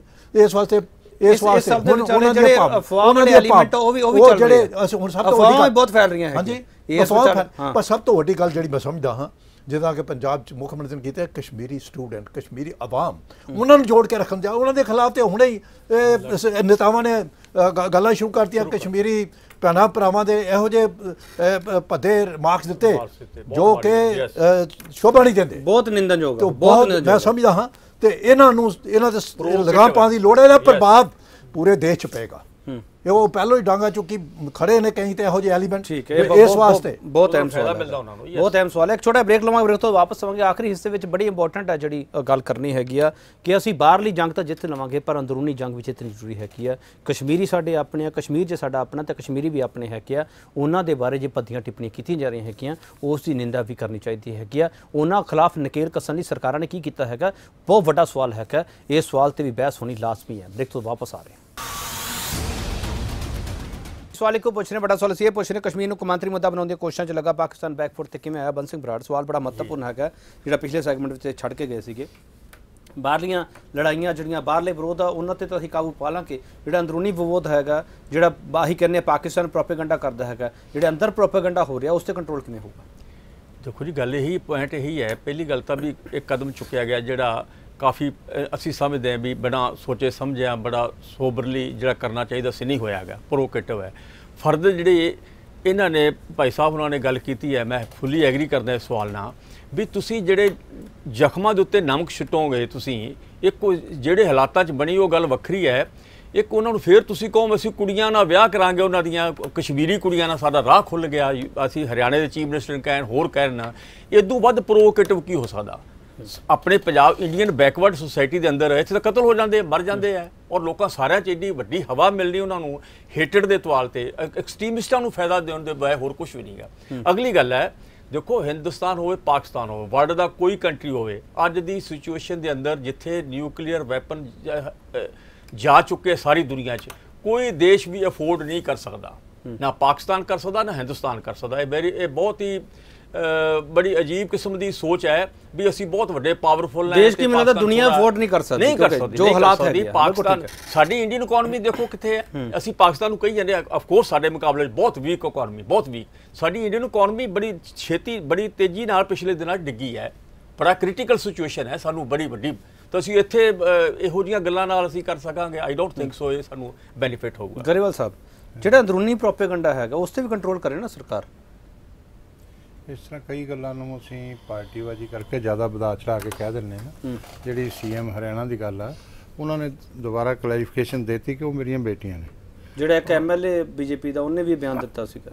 ਉਹ ਬਹੁਤ ਗਲਤ ਆ ਉਹਨਾਂ ਦੇ ਖਿਲਾਫ ਤਾਂ ਮੁਕੱਦਮੇ ਵੀ ਦਰਜ ਹੋਣਾ ਚਾਹੀਦਾ ਜੇ ਕੋਈ ਇਦਾਂ ਦਾ ਬਿਆਨ ਦਿੰਦਾ। ਮੈਂ ਕੋਈ ਉਹਦਾ ਹਮਾਇਤੀ ਨਹੀਂ ਹੈਗਾ ਨਾ ਬੀਜੇਪੀ ਉਹ ਹੋਣਾ ਵੀ ਨਹੀਂ ਚਾਹੀਦਾਗਾ ਪਾਰਟੀ ਪੱਧਰ ਤੇ ਤੁਸੀਂ ਉਹਨਾਂ ਤੇ ਕਾਰਵਾਈ ਕਰੋ ਨਾ ਕੰਟਰੋਲ ਹੋਵੇ ਸਾਰਿਆਂ ਨੂੰ। ਮੈਸੇਜ ਆਵੇ ਇੱਕ ਸੁਨੇਹਾ ਜਾਵੇ। ਅੱਜ ਤੱਕ ਤਾਂ ਇਹਨਾਂ ਨੇ ਕਿਸੇ ਪਾਰਟੀ ਕੱਢਿਆ ਨਹੀਂ ਕੋਈ ਅੱਜ ਤੱਕ। ਜਿਹਨੇ ਹੁਣ ਖੁੱਲੀਆਂ ਛੁੱਟੀਆਂ ਹੁੰਦੀਆਂ ਜੋ ਮਰਜ਼ੀ ਗਰੇਵਾਲ ਕਰ। ਸਾਹਿਬ, ਸਖਤੀ ਨਾਲ ਨਜਿੱਠਣਾ ਪਊਗਾ, ਸੁਣ ਲਓ, ਸਖਤੀ ਨਾਲ ਨਜਿੱਠਣਾ ਮੇਰੀ ਗੱਲ ਤਾਂ ਸੁਣ ਲਓ। ਮੱਧ ਪ੍ਰਦੇਸ਼ ਦੇ ਅੰਦਰ ਵਿਜੇ ਵਰਗੀਜ਼ ਦੇ ਬੇਟੇ ਨੇ ਜੋ ਐਮਐਲਏ ਆ। ਤੇ ਉਹਨਾਂ ਨੇ ਮਾਰ ਕੁਟਾਈ ਕੀਤੀ ਕਿਸੇ ਨਾਲ ਆਫੀਸਰ ਨਾਲ। ਜ਼ਬਰਦਸਤੀ ਕੀਤੀ ਉਹ ਬੈਟ ਲਿਆ ਕੇ ਉਹ ਤਾਂ ਸੋਸ਼ਲ ਮੀਡੀਆ ਤੇ ਸਾਰਾ ਵਾਇਰਲ ਹੋ ਗਿਆ ਨਾ ਫਿਰ ਉਸ ਤੋਂ ਬਾਅਦ ਪ੍ਰੈਸ਼ਰ ਦੇ ਵਿੱਚ ਵੀ ਸਾਰਾ ਕੁਝ ਕੀਤਾ ਹੈ ਉਹਨੂੰ ਪਾਰਟੀ ਚੋਂ ਕੱਢਿਆ। ਪ੍ਰੈਸ਼ਰ ਵਿੱਚ ਵੀ ਸਾਰਾ ਕੀਤਾ ਉਹ ਨਾਮ ਵਾਲਾ ਦੇਖ ਲਓ ਤੁਸੀਂ ਉਹਦੇ ਵਿੱਚ ਵੀ ਪ੍ਰੈਸ਼ਰ ਚ ਆ ਕੇ ਸਾਰਾ ਕੁਝ ਕਰਨਾ ਪਿਆ ਤੁਹਾਨੂੰ। ਉਹ ਪਾਰਟੀ ਪ੍ਰਗਿਆ ਸਾਧਵੀ ਨੂੰ ਕੀ ਕੀਤਾ? ਪਾਰਟੀ ਚੋਂ ਕੱਢਿਆ ਉਹਨੂੰ ਤੇ ਪ੍ਰਗਿਆ ਸਾਧਵੀ ਨੂੰ ਵੀ ਜੇ ਉਹ ਕੋਈ ਇਦਾਂ ਦੀ ਗਲਤੀ ਅੱਗੇ ਕਰੇਗੀ ਤਾਂ ਉਹਦੇ ਤੇ ਵੀ ਐਕਸ਼ਨ ਹੋਏਗਾ ਐਸੀ ਕੋਈ ਗੱਲ ਨਹੀਂ ਹੈ। ਸਾਡੀ ਪਾਰਟੀ 'ਚ ਅਨੁਸ਼ਾਸਨ ਹੈਗਾ ਔਰ ਬਹੁਤ ਅੱਛੀ ਚੱਲ ਰਹੀ ਹੈ। ਔਰ ਦੂਸਰੀ ਗੱਲ ਮੈਂ ਵਿਸ਼ਵਾਸ ਦਿਵਾਉਣਾ ਕਿ ਕਸ਼ਮੀਰੀਆਂ ਦਾ ਪੂਰਾ ਸਨਮਾਨ ਹੋਏਗਾ ਉਹਨਾਂ ਦਾ ਮਹਿਲਾਵਾਂ ਦਾ ਵੀ ਸਨਮਾਨ ਹੋਏਗਾ ਸਤਿਕਾਰ ਹੈ। ਤੇ ਜੇ ਕੋਈ ਸ਼ਰਾਰਤੀ ਅਨਸਰ ਇਦਾਂ ਦੀਆਂ ਹਰਕਤਾਂ ਕਰਦੇ ਆ ਕਿ ਕੋਈ ਸਾਡੇ ਦੇਸ਼ ਦੇ ਅੰਦਰ ਵੀ ਕੁਝ ਐਸੇ ਲੋਕ ਆ ਜੋ ਇਸ ਤਰ੍ਹਾਂ ਦੇ ਵਖਰੇਵੇਂ ਜਾਂ ਫ਼ਰਕ ਪਾਉਣਾ ਚਾਹੁੰਦੇ ਨੇ ਉਹਨਾਂ ਦੇ ਖਿਲਾਫ ਵੀ ਸਾਡੀ ਪਾਰਟੀ ਔਰ ਸਾਡੀ ਸਰਕਾਰ ਹੈਗੀ ਹੈ। ਠੀਕ ਹੈ। ਕਾਲੂ ਸਾਹਿਬ ਹੁਣ ਕਸ਼ਮੀਰ ਦੇ ਵਿੱਚ ਤੁਸੀਂ ਤਸਵੀਰਾਂ 'ਚ ਵੀ ਦੇਖਿਆ ਹੋਊਗਾ ਕਸ਼ਮੀਰ ਦੇ ਵਿੱਚ ਤਿਆਰੀਆਂ ਚੱਲ ਰਹੀਆਂ ਅ, 15 ਅਗਸਤ ਦੀਆਂ। ਉਹਨਾਂ ਤਿਆਰੀਆਂ ਦੇ ਵਿਚਾਲੇ ਈਦ ਟੱਪ ਚੁੱਕੀ ਹੈ ਕੀ ਹੈ? ਉਹਦੇ ਵਿੱਚ ਕੁਝ ਰਿਪੋਰਟਸ ਇਹੋ ਜਿਹੀਆਂ ਵੀ ਹੈਗੀਆਂ ਕਿ ਈਦ ਨੂੰ ਉਸ ਤਰੀਕੇ ਨਾਲ ਮਨਾ ਹੀ ਨਹੀਂ ਸਕੇਗੇ ਜਿਸ ਤਰੀਕੇ ਨਾਲ ਉਹਨਾਂ ਨੂੰ ਈਦ ਮਨਾਉਣੀ ਚਾਹੀਦੀ ਸੀ ਜਾਂ ਪਹਿਲਾਂ ਮਨਾਉਂਦੇ ਆਏ ਹੈ ਕੀ ਉਸ ਬਾਰੇ ਉਸ ਬਾਰੇ ਅਸੀਂ ਕਮੈਂਟ ਹੀ ਨਹੀਂ ਕਰਨਾ ਚਾਹ ਰਹੇ ਕਿਉਂ? ਨਹੀਂ ਉਹ ਤੇ ਫਿਰ ਦੇਖੋ ਨਾ ਉਹ ਅੰਡਰ ਕੰਟਰੋਲ ਸਭ ਕੁਝ ਹੋਇਆ ਉਹ ਤੇ ਖੌਫ ਤੇ ਸਥਿਤੀ ਪੈਦਾ ਉੱਥੇ ਹੋ ਚੁੱਕੀ ਹੈ। ਔਰ ਉਹ ਚੁੱਪਚਾਪ ਨੇ ਸ਼ਾਂਤ ਉਹ ਤੇ ਫਿਰ ਜਿਨ੍ਹਾਂ ਨੇ ਲੈਟਸ ਸੇ ਨਮਾਜ਼ ਪੜ੍ਹਨੀ ਹੈ ਜਾਣਾ ਉਹ ਤੇ ਉਹਨਾਂ ਵਾਸਤੇ ਉਹਨਾਂ ਨੂੰ ਰਸਤਾ ਖੋਲਤਾ ਗਿਆ। ਮਗਰ ਇਸ ਸਮੇਂ ਫਿਰ ਵੀ ਸਾਇਲੈਂਟ ਪ੍ਰੋਟੈਸਟ ਜ਼ਰੂਰ ਹੋਏ। ਸਾਇਲੈਂਟ ਪ੍ਰੋਟੈਸਟ ਜ਼ਰੂਰ ਹੋਏ। ਮੈਂ ਇਹ ਕਹਿਣਾ ਚਾਹੁੰਦਾ ਕਿ ਜਦੋਂ ਤੱਕ ਕਸ਼ਮੀਰੀਆਂ ਦੇ ਦਿਲ ਨਹੀਂ ਜਿੱਤੇ ਜਾਂਦੇ ਉਦੋਂ ਤੱਕ ਸ਼ਾਂਤੀ ਪੂਰਨ ਰੂਪ ਚ ਸ਼ਾਂਤੀ ਬਹਾਲ ਕਰਨਾ ਬੜਾ ਕਠਿਨ। ਉਹਨਾਂ ਦਾ ਦਿਲ ਜਿੱਤਣ ਦੀ ਲੋੜ ਹੈ। ਠੀਕ ਹੈ। ਉਹ ਕਿਦਾਂ ਜਿੱਤ ਰਹੇ ਨੇ? ਠੀਕ ਹੈ। ਵਿਕਰਮਜੀਤ ਲਾਸਟ ਮਿੰਟ ਤੁਹਾਡੇ ਜਿਹਦੇ ਵਿਕਰਮਜੀਤ ਅਸੀਂ ਬਾਹਰਲਿਆਂ ਤੇ ਜਿੱਤ ਪ੍ਰਾਪਤ ਕਰਕੇ ਬੜੇ ਖੁਸ਼ ਹੁੰਨੇ ਆ ਅਸੀਂ। ਪਾਕਿਸਤਾਨ ਨੇ ਹੁਣ ਆਹ ਬਿਆਨ ਦਿੱਤਾ ਜੀ, ਚਾਈਨਾ ਨੇ ਆ ਦਿੱਤਾ, ਅਮਰੀਕਾ ਨੇ ਦਿੱਤਾ, ਅਸੀਂ ਵੀ ਉਸ ਤੇ ਚਰਚਾ ਕਰ ਰਹੇ ਹਾਂ ਸਵਾਲ ਹੈਗਾ, ਅੰਦਰੋਂ ਸਾਡੇ ਜਿਹੜੀ ਆਵਾਜ਼ ਉੱਠਦੀ ਹੈ ਕੀ ਆ, ਉਸ ਤੇ ਅਸੀਂ ਚਰਚਾ ਹੀ ਨਹੀਂ ਕਰਨਾ ਚਾਹੁੰਦੇ ਕਿ, ਵਿਕਰਮਜੀਤ, ਕੀ ਜਿੱਤਣਾ ਚਾਹ ਰਹੇ ਹਾਂ ਅਸੀਂ ਦੇਖੋ ਅਜੈ ਪ੍ਰਕਾਸ਼ ਨਾਰਾਇਣ ਨੇ ਬਹੁਤ ਪਹਿਲਾਂ ਕਿਹਾ ਸੀਗਾ, ਔਰ ਉਹਨਾਂ ਦੀ ਐਡਵਾਈਸ ਟੂ ਮਿਸਿਸ ਗਾਂਧੀ ਇਹ ਸੀਗੀ ਕਿ ਅਗਰ ਕਸ਼ਮੀਰ ਦੀ ਜੀਓਗ੍ਰਾਫੀਕਲ ਲੋਕੇਸ਼ਨ ਕੁਝ ਹੋਰ ਹੁੰਦੀ, ਤਾਂ ਸ਼ਾਇਦ ਤੁਸੀਂ ਕਸ਼ਮੀਰ ਨੂੰ ਸੋਲਵ ਕਰ ਦਿੰਦੇ without taking to account the people's wishes ਔਰ ਉਹਨਾਂ ਦੀ ਜੀ ਫੀਲਿੰਗਸ ਹੈਗੀਆਂ। ਲੇਕਿਨ because of Kashmir's peculiar geostrategic location ਤੁਸੀਂ ਜਦ ਤੱਕ ਕਸ਼ਮੀਰ ਦੇ ਲੋਕਾਂ ਨੂੰ ਆਪਣੇ ਨਾਲ ਨਹੀਂ ਰੱਖੋਗੇ, ਇਹ ਪ੍ਰੋਬਲਮ ਕਿਤੇ ਨਾ ਕਿਤੇ ਫੇਰ ਇਰਪਸ਼ਨ ਹੋਣੀ ਹੈ ਔਰ ਉਹੀ ਗੱਲ ਹੋਈ। ਇੰਦਰਾ ਗਾਂਧੀ ਵੀ ਕਸ਼ਮੀਰ ਪ੍ਰੋਬਲਮ ਨੂੰ ਸੈਟਲ ਨਹੀਂ ਕਰ ਸਕੀ despite all her strategic mindset and a decisive victory over Pakistan in 1971 so ਅੱਜ ਸਾਡਾ ਅਪਰੋਚ ਔਨ ਕਸ਼ਮੀਰ ਇਜ਼ ਕਿ ਅੱਜ ਕਸ਼ਮੀਰੀਆਂ ਨੂੰ ਬਿਲਕੁਲ ਚੁੱਪ ਕਰਕੇ ਕਹਿੰਦੇ ਨਾ ਇੱਕ ਪ੍ਰਿਜ਼ਨ ਦੀ ਖਾਮੋਸ਼ੀ ਹੈ ਕਸ਼ਮੀਰ ਵਿੱਚ। It is the silence of the prison ਕੱਲ ਅਗਰ ਅਸੀਂ ਰੈਸਟ੍ਰਿਕਸ਼ਨ ਜਾਂ ਲਿਫਟ ਕਰਦੇ ਹਾਂ ਤੇ ਉੱਥੇ ਅੱਗ ਲੱਗਦੀ ਹੈ ਹਿਊਮਨ ਰਾਈਟਸ ਅਬਿਊਜ਼ਸ ਹੁੰਦੇ ਨੇ ਤੇ ਜਿਹੜੀ ਇੰਟਰਨੈਸ਼ਨਲ ਕਮਿਊਨਿਟੀ ਅੱਜ ਪਾਕਿਸਤਾਨ ਦੇ ਨਾਲ ਸਾਥ ਨਹੀਂ ਦੇ ਰਹੀ ਉਹ ਪਾਕਿਸਤਾਨ ਦੀ ਜ਼ਿਆਦਾ ਸਪੋਰਟ ਕਰ ਰਹੀ ਕਰੇਗੀ ਔਰ ਉਹ ਇੰਡੀਆ ਨੂੰ ਡਿਪਲੋਮੈਟਿਕਲੀ ਬੈਕਫੁੱਟ ਤੇ ਪਾਏਗੀ। ਸੋ ਉਹ ਸਾਡਾ ਜਿਹੜੀ ਗੇਨਸ ਹੋਈਆਂ ਨੇ at the strategic level geopolitical level ਜੋ ਆਰਟੀਕਲ 370 ਦਾ 35A ਨੂੰ ਕਰਕੇ ਔਰ ਡਿਸਪਿਊਟਸ ਵਿਦ ਚਾਈਨਾ ਔਰ ਪਾਕਿਸਤਾਨ ਨੂੰ ਅਸੀਂ ਅਲੱਗ ਕਰਤਾ ਚਾਈਨਾ ਨਾਲ ਅਲੱਗ ਕਰਤਾ ਪਾਕਿਸਤਾਨ ਨਾਲ ਅਲੱਗ ਕਰਤਾ ਬਾਈ ਬਾਈਫਰਕੇਟਿੰਗ ਉਹ ਜਿਹੜੀਆਂ ਗੇਨਸ ਨੇ ਉਹ ਰਿਡਿਊਸ ਹੋਣਗੀਆਂ ਡਿਲੂਟ ਹੋਣਗੀਆਂ। ਅਗਰ ਕਸ਼ਮੀਰ ਦੀ ਆਵਾਮ ਵਿੱਚ ਯੂ نو ਅੱਗ ਲੱਗਦੀ ਹੈ ਉਹ ਬਲੱਡ ਸ਼ੈਡ ਹੁੰਦਾ ਹੈ ਅਸੀਂ ਰਿਐਕਟ ਕਰਦੇ ਹਾਂ ਗੋਲੀਆਂ ਚੱਲਦੀਆਂ ਨੇ ਉਹ ਮਰਦੇ ਨੇ ਲੋਕ। ਉਹ ਸਾਡੇ ਤੋਂ ਸੰਭਾਲਣਾ ਔਖਾ ਹੋ ਜਾਏਗਾ ਕਿਉਂਕਿ ਹਿਊਮਨ ਰਾਈਟਸ ਜਿਹੜਾ ਐਸਪੈਕਟ ਹੈ ਪਰਸਪੈਕਟਿਵ ਹੈ ਉਹ ਇੰਟਰਨੈਸ਼ਨਲ ਲੈਵਲ ਤੇ ਆਏਗਾ ਔਰ ਵੈਸਟਰਨ ਨੇਸ਼ਨਸ ਵਿੱਚ ਵੀ ਬੜੇ ਐਸੇ ਲੋਕ ਬੈਠੇ ਨੇ ਜੋ ਇੰਡੀਆ ਨੂੰ ਦਬਾਉਣ ਲਈ ਉਹਨਾਂ ਨੂੰ ਮੌਕਾ ਚਾਹੀਦਾ। ਤੁਹਾਨੂੰ ਪਤਾ ਚਾਈਨਾ ਔਰ ਅਮਰੀਕਾ ਤੇ ਜਾਗ ਜਾਣਗੇ ਪਰ ਵੈਸਟ ਵਿੱਚ ਵੀ ਹੈ ਯੂਕੇ ਤੁਸੀਂ ਯੂਕੇ ਦੀ ਪਾਲਿਸੀ ਦੇਖੋ ਔਨ ਕਸ਼ਮੀਰ ਬੜੀ ਐਂਬਿਗੁਅਸ ਪਾਲਿਸੀ ਉਹਨਾਂ ਦੀ। UK the policy on Kashmir has not been in India's favour ਉਹਨਾਂ ਦੀ ਬਹੁਤ ਐਂਬਿਗੁਇਟੀ ਹੈ। ਉਹ ਪਾਕਿਸਤਾਨ ਨੂੰ ਆਲਮੋਸਟ ਫੇਵਰ ਕਰਦੇ ਨੇ ਅਮਰੀਕਾ ਫੇਵਰ ਚ ਹੈ? ਅਮਰੀਕਾ ਡਬਲ ਗੇਮ ਖੇਡਦਾ ਡਬਲ ਗੇਮ ਖੇਡਦਾ ਦੇਖੋ ਅਮਰੀਕਾ ਨੂੰ ਪਾਕਿਸਤਾਨ ਦੀ ਬਹੁਤ ਜ਼ਰੂਰਤ ਹੈ in South Asia as far as Afghanistan is concern ਠੀਕ ਹੈ ਨਾ ਜੀ? ਪਾਕਿਸਤਾਨ ਅਮਰੀਕਾ ਦਾ ਬੜਾ ਪੁਰਾਣਾ ਅਲਾਈ ਰਿਹਾ ਹੈ ਰਾਈਟ ਫਰਮ ਪਾਰਟੀਸ਼ਨ ਡੇਜ਼ ਲੇਕਿਨ ਯੂਐਸ ਨੂੰ ਇੰਡੀਆ ਵੀ ਚਾਹੀਦਾ at the Indo Pacific level as a balancing force against China America double against China America double game ਖੇਡਦਾ ਹੈ ਤੇ ਚਾਈਨਾ ਤੇ ਤੁਸੀਂ ਵਿਸ਼ਵਾਸ ਕਰ ਨਹੀਂ ਸਕਦੇ। ਚਾਈਨਾ ਤਾਂ ਬਿਲਕੁਲ ਨਹੀਂ। ਚਾਈ ਨਹੀਂ China the strategic aim is anti India China India ਨੂੰ ਦਬਾ ਕੇ ਹੀ ਰਹੇਗਾ ਕਿਉਂਕਿ it sees India as a competitive power to its own supremacy ਠੀਕ ਹੈ? But America also needs India ਕਿਉਂਕਿ ਇੰਡੀਆ ਇੱਕ ਵੱਡਾ ਨੇਸ਼ਨ ਹੈ ਜੋ ਚਾਈਨਾ ਨੂੰ ਬੈਲੈਂਸ ਕਰ ਸਕਦਾ। ਸੋ ਇਹ ਨਹੀਂ ਕਿ ਦੇਖੋ ਇੰਡੀਆ ਯੂਐਸ ਸਟ੍ਰੈਟਜਿਕ ਪਾਰਟਨਰਸ਼ਿਪ ਜਿਹੜੀ ਹੈ ਉਹ ਓਵਰ ਦ ਇਅਰਸ ਵਧੀ ਹੈ not only last with minute BJP last minute ਮੈਨੂੰ ਤੁਹਾਡੇ ਚਾਹੀਦੇ ਆ ਵਿਕਰਮਜੀਤ ਕੁਰੈਸ਼ੀ ਸਾਹਿਬ ਨੂੰ ਪਹਿਲਾਂ ਨਹੀਂ ਪਤਾ ਸੀ ਉਹਨਾਂ ਦੇ ਹਤੈਸ਼ੀ ਕੌਣ ਕੌਣ ਹੈ ਆਈ ਥਿੰਕ ਕੁਰੇਸ਼ੀ ਸਾਹਿਬ ਨੂੰ ਇਲਮ ਬੜੀ ਇਹ ਪਾਕਿਸਤਾਨ ਦੀ ਗਵਰਨਮੈਂਟ ਨੂੰ ਅੰਦਰੋਂ ਇਹ ਗੱਲ ਪਤਾ ਸੀ ਕਿ ਜਿਹੜੀ ਇਹਨਾਂ ਨੇ ਮੈਥਡਸ ਕਸ਼ਮੀਰ ਉੱਪਰ ਅਡਾਪਟ ਕੀਤੇ ਨੇ ਉਹਨਾਂ ਦੀ ਡਿਕਲਾਈਨਿੰਗ ਵੈਲਿਊ ਆ ਰਹੀ ਹੈ ਦੇਖੋ ਕਸ਼ਮੀਰ ਅੱਜ ਨਹੀਂ ਮੈਂ ਤੁਸੀਂ 2014 ਚ ਦੇਖ ਲਓ 2014 ਵਿੱਚ 193 ਮੈਂਬਰਸ ਨੇ ਯੂਐਨ ਦੇ ਠੀਕ ਹੈ ਜੀ? 193 ਮੈਂਬਰਸ ਆਫ ਦਾ ਯੂਐਨ ਵਿੱਚੋਂ 2014 ਦੀ ਯੂਐਨ ਅਸੈਂਬਲੀ ਵਿੱਚ ਸਿਰਫ ਪਾਕਿਸਤਾਨ ਰੌਲਾ ਪਾ ਰਿਹਾ ਸੀ ਕਸ਼ਮੀਰ ਉੱਪਰ। ਕਿਸੇ ਮੈਂਬਰ ਨੇ ਸਪੋਰਟ ਨਹੀਂ ਕੀਤਾ। Last effective resolution in the UN on Kashmir was 1957 ਠੀਕ ਜਦ 93 ਮੈਂਬਰ ਸੀ ਯੂਐਨ ਦੇ। ਅੱਜ 193 ਮੈਂਬਰਸ ਨੇ ਔਰ ਕਿੰਨੇ ਇੰਟਰਸਟ ਲੈਂਦੇ ਨੇ। So Pakistan's ability to raise Kashmir at the UN was declining ਕਿਉਂਕਿ ਲੋਕ ਇਹ ਕਹਿੰਦੇ ਨੇ। ਕਿ ਕੀ ਡਿਸਪਿਊਟ ਲੈ ਕੇ ਬੈਠੇ ਹੋਏ ਡਿਕਲਾਈਨਿੰਗ ਤੇ ਤੁਹਾਨੂੰ ਲੱਗਦਾ ਹਾਂਜੀ Kalu sir last Pakistan was not prepared to take this shock ਨਹੀਂ ਤੇ ਇਮਰਾਨ ਖਾਨ ਆ ਸਭ ਤੋਂ ਵੱਡਾ ਜਿਹੜਾ ਉਹਨਾਂ ਨੇ ਬਲੰਡਰ ਕੀਤਾ ਮੈਂ ਸਮਝਦਾ ਹਾਂ ਕੂਟਨੀਤਿਕ ਸਬੰਧ ਨੂੰ ਖਾਰਜ ਕਰਕੇ ਬਾਕੀ ਤਾਂ ਠੀਕ ਹੈ ਬਸ ਆਪਾਂ ਰੇਲ ਗੱਡੀਆਂ ਇਹ 71 ਤੋਂ ਬਾਅਦ ਹੋਏ ਨਹੀਂ ਕਾਰਗਿਲ ਦੇ ਟਾਈਮ 'ਚ ਕਿਉਂਕਿ ਹੰਡਿਆ ਵਰਤਾ ਸਿਆਸਤਦਾਨ ਸੀ ਨਵਾਜ਼ ਸ਼ਰੀਫ ਉਹਨੇ ਉਦੋਂ ਉਦੋਂ ਕੂਟਨੀਤਿਕ ਸਬੰਧ ਕਾਇਮ ਰਹੇ ਸਾਡੇ। ਬਹੁਤ ਵੱਡੀ ਜ਼ਰੂਰਤ ਸੀ ਕਿ ਇਹਨੂੰ ਇਹ ਕਿਸਮ ਦਾ ਬੁਖਲਾਟ ਚਲੇ ਗਿਆ ਫੈਸਲਾ। ਮੈਂ ਸਮਝਦਾ ਹਾਂ ਉਹਨੂੰ ਪਛਤਾਣਾ ਪਏਗਾ। ਮਗਰ ਸਾਨੂੰ ਵੀ ਇਤਿਹਾਸ ਵਰਤਣਾ ਪਏਗਾ।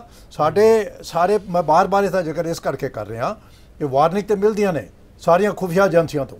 ਪਰ ਸਾਨੂੰ ਸੰਵੇਦਨਸ਼ੀਲ ਠਿਕਾਣਿਆਂ ਬਹੁਤ ਸਾਰੇ ਬ੍ਰਿਜਸ ਇੰਸਟਾਲੇਸ਼ਨ 에ਅਰਫੋਰਸ ਤੇ ਪਠਾਨਕੋਟ ਤੇ ਹੋ ਹੀ ਚੁੱਕਿਆ। ਉਹਦੇ ਬਾਰੇ ਧਿਆਨ ਦੇਣ ਦੀ ਲੋੜ ਹੋਏਗੀ। ਇੱਕ ਅੰਦਰੂਨੀ ਪੱਖੋਂ ਤੇ ਲਾਈਨ ਆਫ ਕੰਟਰੋਲ ਤੇ ਅਸੀਂ ਫੁੱਲੀ ਫੁੱਲੀ ਪ੍ਰਿਪੇਅਰਡ ਆ। ਔਰ। ਪੂਰਾ ਸਾਡੀਆਂ ਫੌਜਾਂ ਤਿਆਰ ਬਰ ਤਿਆਰ ਨੇ 'ਚ ਕੋਈ ਸ਼ੱਕ ਨਹੀਂ। ਹਰ ਸਥਿਤੀ ਦਾ ਸਾਹਮਣਾ ਕਰਨ ਵਾਸਤੇ ਮੂੰਹ ਤੋੜਨ ਜਵਾਬ ਦੇ ਪਰ ਉਹਨਾਂ ਦੇ ਜਿਹੜੇ ਟ੍ਰੇਨਿੰਗ ਕੈਂਪ ਕਲੋਜ਼ਰ ਟੂ ਇਹ ਲਾਈਨ ਆਫ ਕੰਟਰੋਲ ਚੱਲ ਰਹੇ ਉਹਨਾਂ ਤਰਫ ਧਿਆਨ ਦੇਣ ਦੀ ਲੋੜ ਹੋਏਗੀ। ਕਿਉਂਕਿ। ਉਹਨਾਂ ਨੇ ਕੋਸ਼ਿਸ਼ਾਂ ਕਰਦੇ ਰਹਿਣਾ ਹੈ। ਠੀਕ ਬਹੁਤ ਇਸ ਧੰਨਵਾਦ, ਬਹੁਤ- ਬਹੁਤ ਧੰਨਵਾਦ। ਸਾਨੂੰ ਹਰ ਸੰਭਵ ਕੋਸ਼ਿਸ਼ ਕਰਨੀ ਚਾਹੀਦੀ ਹੈ ਉਹਨੂੰ ਕਾਊਂਟਰ ਕਰਨਾ। ਬਹੁਤ ਧੰਨਵਾਦ ਕਾਲੂ ਸਾਹਿਬ ਤੁਹਾਡਾ ਬਰਾੜ ਸਾਹਿਬ ਤੁਹਾਡਾ ਬਹੁਤ ਧੰਨਵਾਦ ਗਰੇਵਾਲ ਸਾਹਿਬ ਤੁਹਾਡਾ ਬਹੁਤ ਧੰਨਵਾਦ ਵਿਕਰਮਜੀਤ ਸਿੰਘ ਤੁਹਾਡਾ ਬਹੁਤ ਧੰਨਵਾਦ। ਅਸੀਂ ਕੋਸ਼ਿਸ਼ ਕੀਤੀ ਹੈ ਕਿ ਇਸ ਮੁੱਦੇ ਸੰਜੀਦਾ ਚਰਚਾ ਕੀਤੀ ਜਾਵੇ। ਇਸ ਡਿਬੇਟ ਵਿੱਚੋਂ ਜੋ ਚੀਜ਼ ਸਾਹਮਣੇ ਆਈ ਹੈ ਕਿ ਸਾਨੂੰ ਕੌਮਾਂਤਰੀ ਸਰਹੱਦਾਂ ਦੇ ਨਾਲ ਅੰਦਰੂਨੀ ਕਸ਼ਮੀਰੀ ਆਵਾਮ ਹੈ ਕੀ ਹੈ ਉਸ ਦੀ ਵੀ ਚਿੰਤਾ ਕਰਨੀ ਚਾਹੀਦੀ ਹੈ। ਜੇ ਉਹਨਾਂ ਦੇ ਦਿਲ ਨਾਲ ਦਿਲ ਮਿਲ ਕੇ ਤਾਂ ਹੀ ਕਸ਼ਮੀਰ ਤੇ ਅਸੀਂ ਇਹ ਸਵਾਲ ਪੁੱਛ ਸਕਦੇ ਹਾਂ ਕਿ ਬਾਹਰਲੇ ਕਿੰਨੇ ਠੰਡੇ ਪਏ ਬਾਹਰਲੇ ਉਦੋਂ ਤੱਕ ਠੰਡੇ ਨਹੀਂ ਪੈਣਗੇ ਜੋ ਤੱਕ ਕਸ਼ਮੀਰੀ ਆਵਾਮ ਦਾ ਦਿਲ ਹੈ ਜਿਹੜਾ ਅਸੀਂ ਨਹੀਂ ਜਿੱਤ ਸਕਦੇ। ਬਹੁਤ ਧੰਨਵਾਦ।